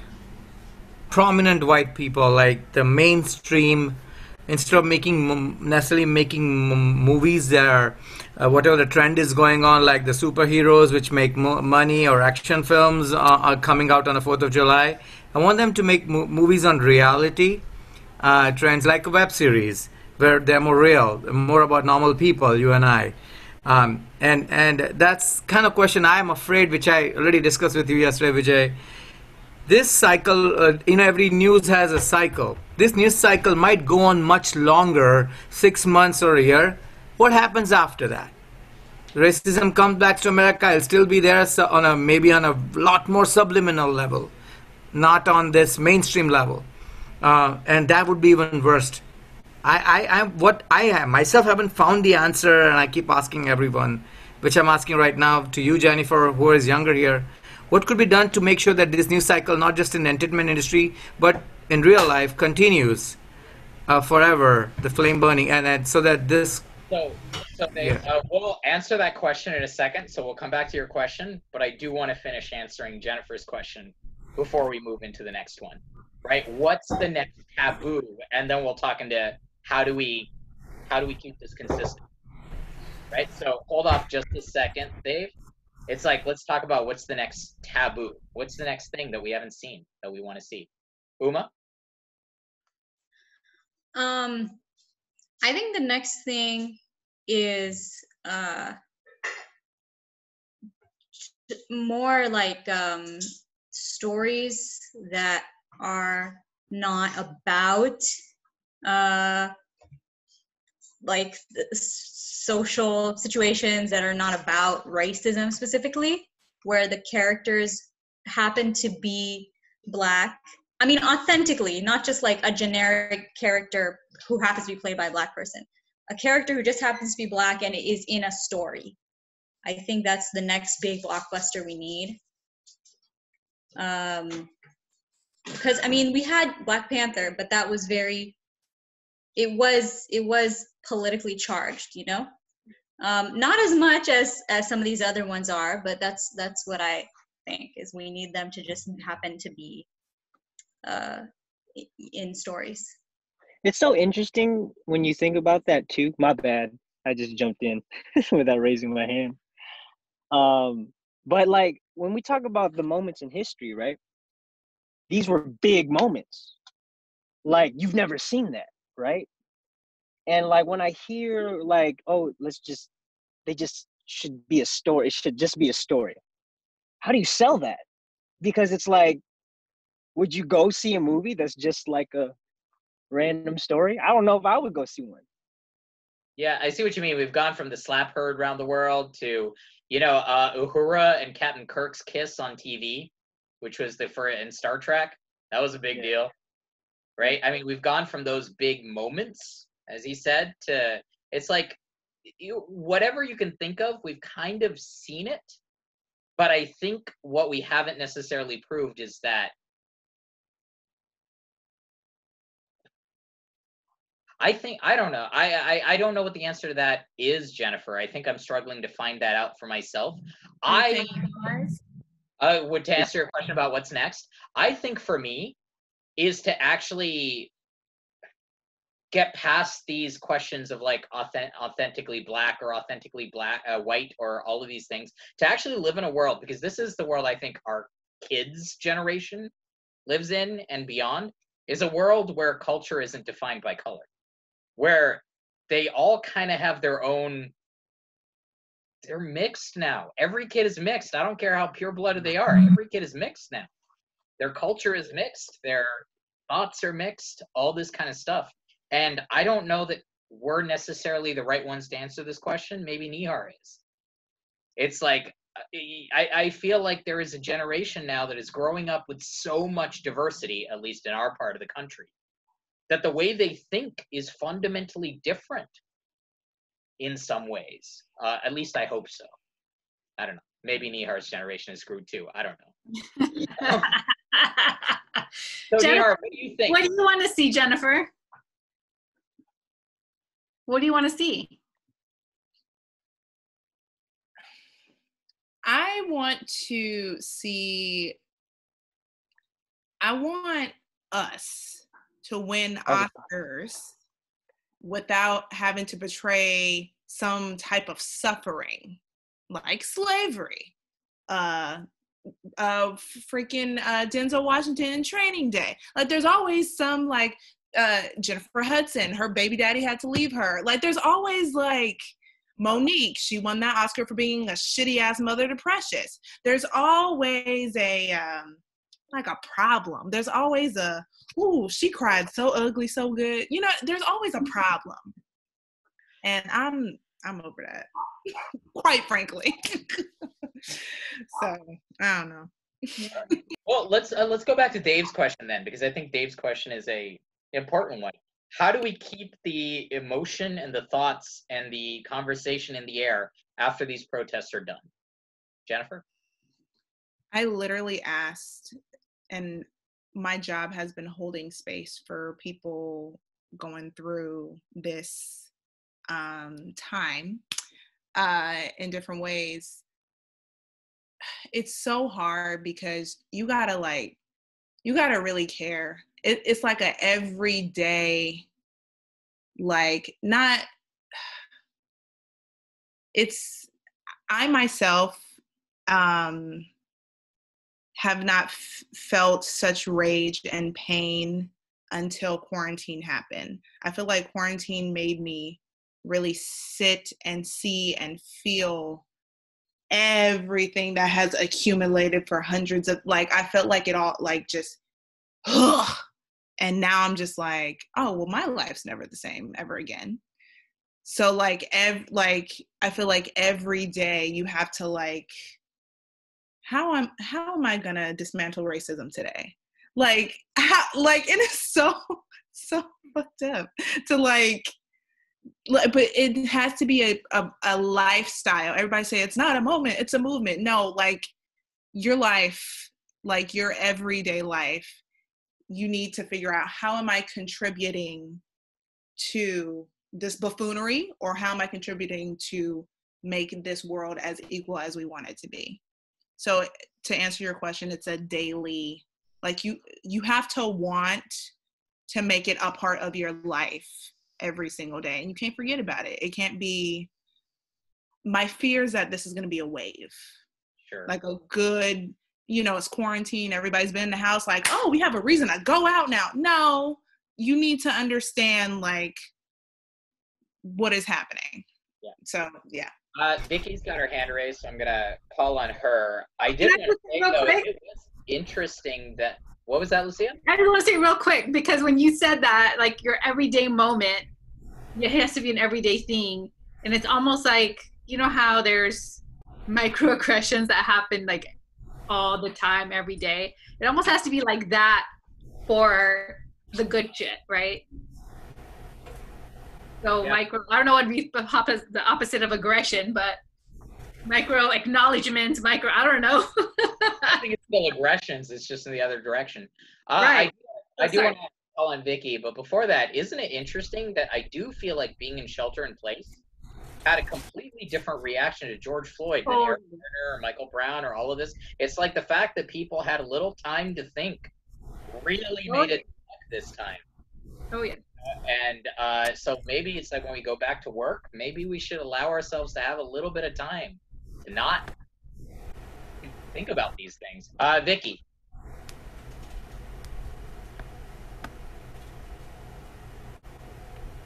Vicky, are you there? Hello? Can you hear me? Yes, we can hear you. Can you hear me? I'm like still moving, so. um, okay, so uh, I just wanted to share story. Like, um, so.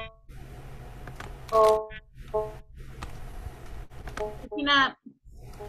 Vicky, I love you. I can't hear nothing you saying, girl, at all. Okay, so I remember like the first time.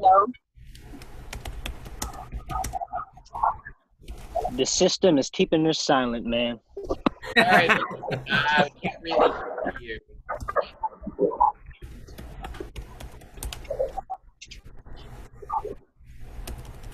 All right. Sorry, Vicky. I am interested to hear your point. Perhaps you could uh, fill us in by chat. Uh, Uma. Uh, Vijay, I want to mention, um, in like relevant to what you your uh, the whole theme of the lecture, which is you know black men being presented as a threat to white women, white women, and the I think personally the biggest evidence of how far we've come is um, is it Sorry, Uma. Can you mute Vicky? 'Cause I can't. It's not. I can't.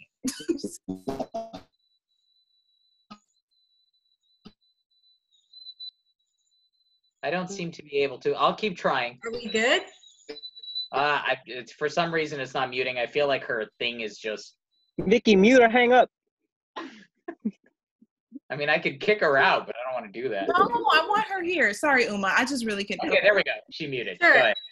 So, so what I was saying was the the history of of in film of black men being presented as a threat to white women, and the biggest evidence that we didn't get to mention in the class is in Get Out. Yeah, we literally see a black man kill an entire white family, and we're cheering for him. You know, in the end, he chokes this white girl to death, and we're cheering for him. And I think that's like a really like that's just monumental. I think that is a, a- an excellent point. Yes, I think Get Out is actually. I was gonna say maybe the next step is seeing a black man do uh, and commit an act of violence against a white woman, but we do not ascribe it to race. It becomes a character thing, you know. Uh, and some, but Get Out is the fact that we're cheering for him is even more monumental in some ways. So that is that's a hell of a point. Yeah, and a black director, which is even even better, even sweeter. Um yes, Dave, go ahead. So I'll say something quick uh, without taking much of your time. Um, this is the ans- partial answer to my own question that the flame doesn't die down the, after the news cycle is over. Um, that there should be a true long solution to the racism. And as I felt in the beginning, I said that you know the power and authority is what um, makes racism racism happen. Uh, what I feel. Um, and I want to share a number. I'll, I'll put, write it down in the chat also. Uh, this is number to the Capitol Hill, um, uh, and the way we can really at least on one end happen is the authorities with the legislators the senate and the congressmen when some issue is there you call your congressman your senator call them in the middle of the night because that's when you get their voicemails and you can leave a detailed message I have actually done this, and I'm gonna share you a very dirty secret, but so be it. When the um, this whole um, what is it, impeachment thing was going on for Trump, I am not. I'm independent voter, by the way. I am not from either side. Um, but I used to call the four swing senators. Hopefully, they will impeach him um, and leave the voicemail on their uh, middle of the night on their on their thing saying I'm uh, from their constitution. Uh, I I and my whole family votes for them. But if they do not impeach him, I will not be supporting them henceforth. I live in California. I don't live in Alaska or uh, wherever they are from. Those four swing uh, Republican senators. But I tried. If we all call them and leave voicemails in the middle of the night, someday something will happen because they will be scared that they're going to lose their seat, their power, their authority, and they will support the righteous thing to do. That's my humble, partial answer to my own question. And I'll write the number down in chat. Yes, please do. The thing about, I mean, this, that's interesting, right? This idea that I think the thing that we have to do in order to keep the thing going is to really continue to hold legislators to the fire. Uh, This is me getting a little political, but like, for example, Amy Klobuchar, she was the one that actually forgave the cop that choked and killed George Floyd out the first time. For me personally, that's reason enough that she should not be in the running for vice president, no matter how she tries to make up for it now. It should be, I think, on a punitive level where you mess up on this issue, it's too important. Sorry. It's just too important. This is the one you can't mess up on. And if you did, we're going to hold it against you. And uh, sorry if there are any Amy Klobuchar supporters in here, but it's like I would like to believe that no matter what candidate I supported, if they had actually been lenient on the cop that did this, I'd be throwing them under the bus too, because there are certain things that are simply too important, is what I think, and I think we need to make that point. We can't just go like, well, from now on. We can't have any more well from now on. It's it's got to be regressive as well. Anyway, that's me. Uh, any other uh, any other thoughts? We've had some people who've been very silent. Nihar, I would like to hear from you. You know, because it's great that a 16 year old is here and listening to this and talking about this. So, what are you thinking? What's going on in that? I'm really trying to like build my opinions on this because like I try to like stay off of social media and things as much as possible to an extent because so much of like how much teenagers and like their opinions and things are influenced by it now. So like I, I don't like see a lot of people actually like critically thinking about it anymore and there's not a lot of reasons for why people think what they think suddenly. So I really just came here to kind of get a grasp on everything. Um, but I, yeah, of course, I think like we need to be uh, really progressive about this, and I think a lot of teenagers will, of course, say the same thing. I haven't heard a lot of people saying we shouldn't change. Um, is there like a specific question you had in mind?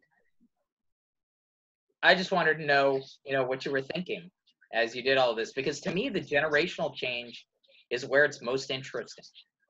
You know, uh, I always think back to the fact that I was homophobic in high school simply because everyone around me was. Not saying in any way of like that I did anything, but it's like I heard people making fun of gay guys and I didn't say anything because that was the generation. And then two years later, it felt like everything changed. I was super ashamed. I was like, what the hell was I thinking? You know, it's, um, I just didn't think about it until it was almost later. And it changed so suddenly. Like I was so proud of the people two, three years after me, the gay straight alliances, all this kind of stuff, and I was like, God, I was kind of a prick 30 years ago, you know. And it's uh, I, I, that's the only thing that gives me hope in times like this. I look at the past, and all I get is heartbreak. I look at the future and the younger kids, then I'm like, oh, maybe we got a shot. Mm-hmm. Um, like out of this, what I one of the biggest things I noticed was like the lack of thinking about right and wrong while making these actions. Like um, they they weren't exactly thinking about is this the right thing to do. They rather thought about will this change cause change and cause progress in film. And I think that's what's happening now too. Like a lot of um, I don't want to say like older people, but like more conservative maybe. Um, they're like they're really focusing in on is this right or is this wrong? Like what people are doing right now is wrong and therefore we shouldn't do it. Which like yeah, of course makes it like some sense. It's reasonable. But at the same time, what like younger people are now trying to do is just cause that change in whatever way they can, because there hasn't been as much change till now. And I think a little bit of the problem is like like looking at this how broad everything is it's gonna take baby steps right? Someone said that. Um so it's not like even out of this it might just be a wave like um someone said. It like everything before this it might just be a little push in the right direction. And i think that will anger a lot of people um, because people are to want instant results um, especially at a time like this where they're all cooped up and want in, like things to happen for them, they're gonna want instant results and they probably won't get them. So that I think that's a good thing because this will keep people um, like keep people focused on this for a longer amount of time and hopefully make this like if not not a wave, at least it'll be like a really big wave. So that would I think it would be a good thing on the whole. And also um Uma said about film that she would like to see stories of like black people and just like not focusing on race necessarily, not focusing on society or issues, just like stories. And a lot of the time, like A24, I really love their films. And I feel like they do that a lot where they make stories which are just like about the human condition. And I, I um, JD said like people might not want to see that. And I, I think that's true, but like that's true for everything, you know, not everyone's gonna want to see every movie. So there's got to be some change somewhere, and it'll spread out to everywhere else. And I think seeing those movies would be a good step. Thank you, Nihar. Um, hold on, hold on, hold on. I gotta, I gotta back me up. What's that? I gotta back me up because that's not what I meant. when I Oh, said okay, that. okay. I'm sorry. Yeah. When I said sell, I meant like 100, 200 million dollar budget movies. Mm-hmm. You know, because we can make the small like talking head film, but like, what is that big idea that is just that story? You know what yeah, I mean? and, and that's actually been shown that I mean, Denzel Washington and Will Smith, these aren't the first names to do many of the things that they're doing. They're just the biggest names to do it. And Will Smith has said frequently, if it doesn't change in a blockbuster, it hasn't really changed. You know, um, and that's kind of interesting. I want to read because Vicky put her thought in the chat. So this is no longer me talking. This is Vicky. I remember the first time learning about black slavery in second grade being about Rosa Parks not getting off the bus. I was the only one remotely sad about how fucked up she was treated. The more racist things the teacher taught about that time period, the more kids would instantly start using it against the black kids in that class. The teacher did not correct them like it was a racist thing. Rather, they hushed them as if they had interrupted class any other time. Somehow, I was the only one asking questions out of disbelief that someone could be judged purely for the color of their skin, and the teacher almost proudly would answer, Yep, with a smile on. Yeah. Um, yeah, I mean, it's I, I I do. That's another thing that I would. That's what I'd like to end this conversation on. Is uh, Uma said this earlier that, for example, in like film history classes, a lot of this stuff wasn't really brought up. We hear about Al Jolson being the first sound line. You know, you ain't heard nothing yet, but we don't hear all of the connotations, the blackface, and everything that comes with that. And why, a Jewish man was in a movie called The Jazz Singer, trying to promote black culture and black music. Our history is so is so sad. The fact that Christopher Columbus still is in Christ- in history books as the guy who discovered America when that's absolutely patently untrue. Right? And everyone knows that. And yet we in 1492 Columbus sailed the ocean blue as if we have to hold on to these white role models who have been disproved you know and i really think one of the biggest solutions in this in this conversation is that adjustment of history. I kind of hate that i did an african american film history class. I would prefer if it was a film history class where this was organically a part of it that it didn't need a separate lens in order to do it because it's also intertwined and it's all part of the larger film history. So, what I would recommend is the burning of so many existing history books and rewriting ones that actually make sense and are true and are more true because most of what our kids learn is bullshit. I know because most of what I learned was bullshit. Uma, go ahead. You got a thought? Everyone clap. Yeah, I think that it's crazy how in film school we learn about the history of film as just the history of film technology and like form, history of film form, you know? How did this movie make it so that people use this technique? And how did this movie make it so that people told stories in this way? Here's how the close-up was invented, all that. But but that's not what film is to anyone other than a filmmaker. You know, film is the number one most powerful medium in the world and and it changes people's minds and it changes cultures and it's like and that's how film history should be taught is how did this how did these movies change the world and how the world works. And it's just crazy to me that it's not taught like that you know that's like a separate kind of elective class like social film history like what? No that is primary history. Yeah, absolutely. Um that is uh yeah, I mean Millie's putting a great point in uh the chat as well where she says I feel if we are we are manipulated to feel empathy for a bigger wicked event agenda. And I think that's absolutely true. I think we are forced to see issues of importance from the side of the oppressor. There are so many stories about like this dude was a terrible husband, but this is why he had a bad childhood. This person was like this.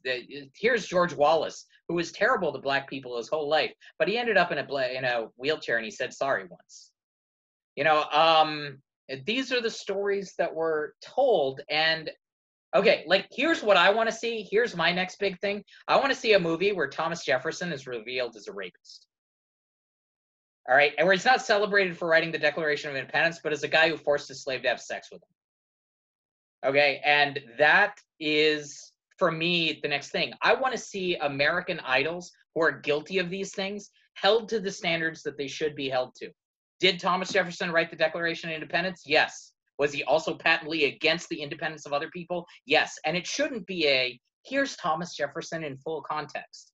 It should be a no, what he did to Sally Hemings was not forbidden love, it was rape. She was his slave. She had no choice. Right? And it's like, I want to see these great American ideals torn down when they are wrong on this issue. Without that, it's not the apology that matters. It's it's fo- the follow through. It's like, do I need to celebrate Thomas Jefferson because he fought for you? Or can you understand that he didn't speak for all of us? That when he wrote the lines, all men are created equal, he didn't really mean it. You know, and it's like, and if you can accept that, and if you could say Thomas Jefferson isn't worth my history, if you can meet me on that level, then maybe we can have a conversation. You know, and that's how I feel. It's like we just hold too true to some of these things. We hold true, and you know, sorry, to the Star Spangled Banner, which uh, which is original verse talked about slavery and the death of slaves. That's the song we're told to hold our heart to, and like stand up and sing. And it's like, yeah, the the rod is in the symbols, right? And those symbols kind of have to come down, I think, before we can have change. Um, Lucia. Just, I'm wondering who's willing to share exactly that, the movie that they would want to see. Um, Okay, I put in the chat. I put in the chat a musical that's a black character. That's not a like. That's just a musical. A musical with a black lead. Okay. Uh, which was Carmen Jones, by the way, with Dan, uh, Dorothy Dandridge. It was an opera, but a musical. Uh, Gabe, you had a thought, and then we'll. Whoever else is, if there's anyone else that's willing to share that has an idea, I would love to hear. If you have ideas for movies you would like to see that move the needle forward, either type it in the chat or share it now. Gabe, did you have an idea? I think the movie's already been made, but my dad was in. It's still a fun fact. My dad was in the Brown Berets in the 1970s, and he went to Garfield High School in East LA, and they like staged walkouts and stuff, um, and like um, demand to demand like um pro- like the right things to be put in the textbooks that they were learning because they had no like like stuff about Hispanic culture and like the stuff that was in there wasn't true and then made him and paint him in a bad light. And it was like the majority of the school was Hispanic, and they just didn't. They, they didn't Talking about the Edward James Olmos movie Walkout. Yeah, yeah, Yeah. My dad was one of those kids, and he was in like the Rodney King protests and all that stuff in LA. Anyone else? Uh, Nihar. Uh, I think the good thing right now is that like we have so much access to information where before like a lot of information was just kind of put aside for people not to see. Um, and so now that we have that, I feel like one of the bigger problems is not turning all of these things into either or because they're all so much like more complex and nuanced than that. And like they all kind of they're all fitting in in a gray area. Like there are very few situations you can really reduce to an either or statement. And so I think people need to see that and approach more things in that way and being open to having those conversations in that way. Sure. All right. Um, we are 10 minutes over, so I have to close up this conversation. Um, but thank you all so much for being a part of this safe environment where you know everyone feels like they could talk. I am so proud of the Hive and the community of the Hive, which you know when I started the Hive, I, I'll take a lot of credit for a lot of things at the Hive, but the community is all them. And I'm so happy with this diverse community and it means so much to me that even during quarantine we have this place where we can speak honestly and not have you know and actually have real conversations about this and those of you that are visiting and joining us thank you so much for spending your thursday nights with us uh thank you all and that uh that's pretty much it Thank you Andrew, for the Where can we session. see this? Where can we see this later?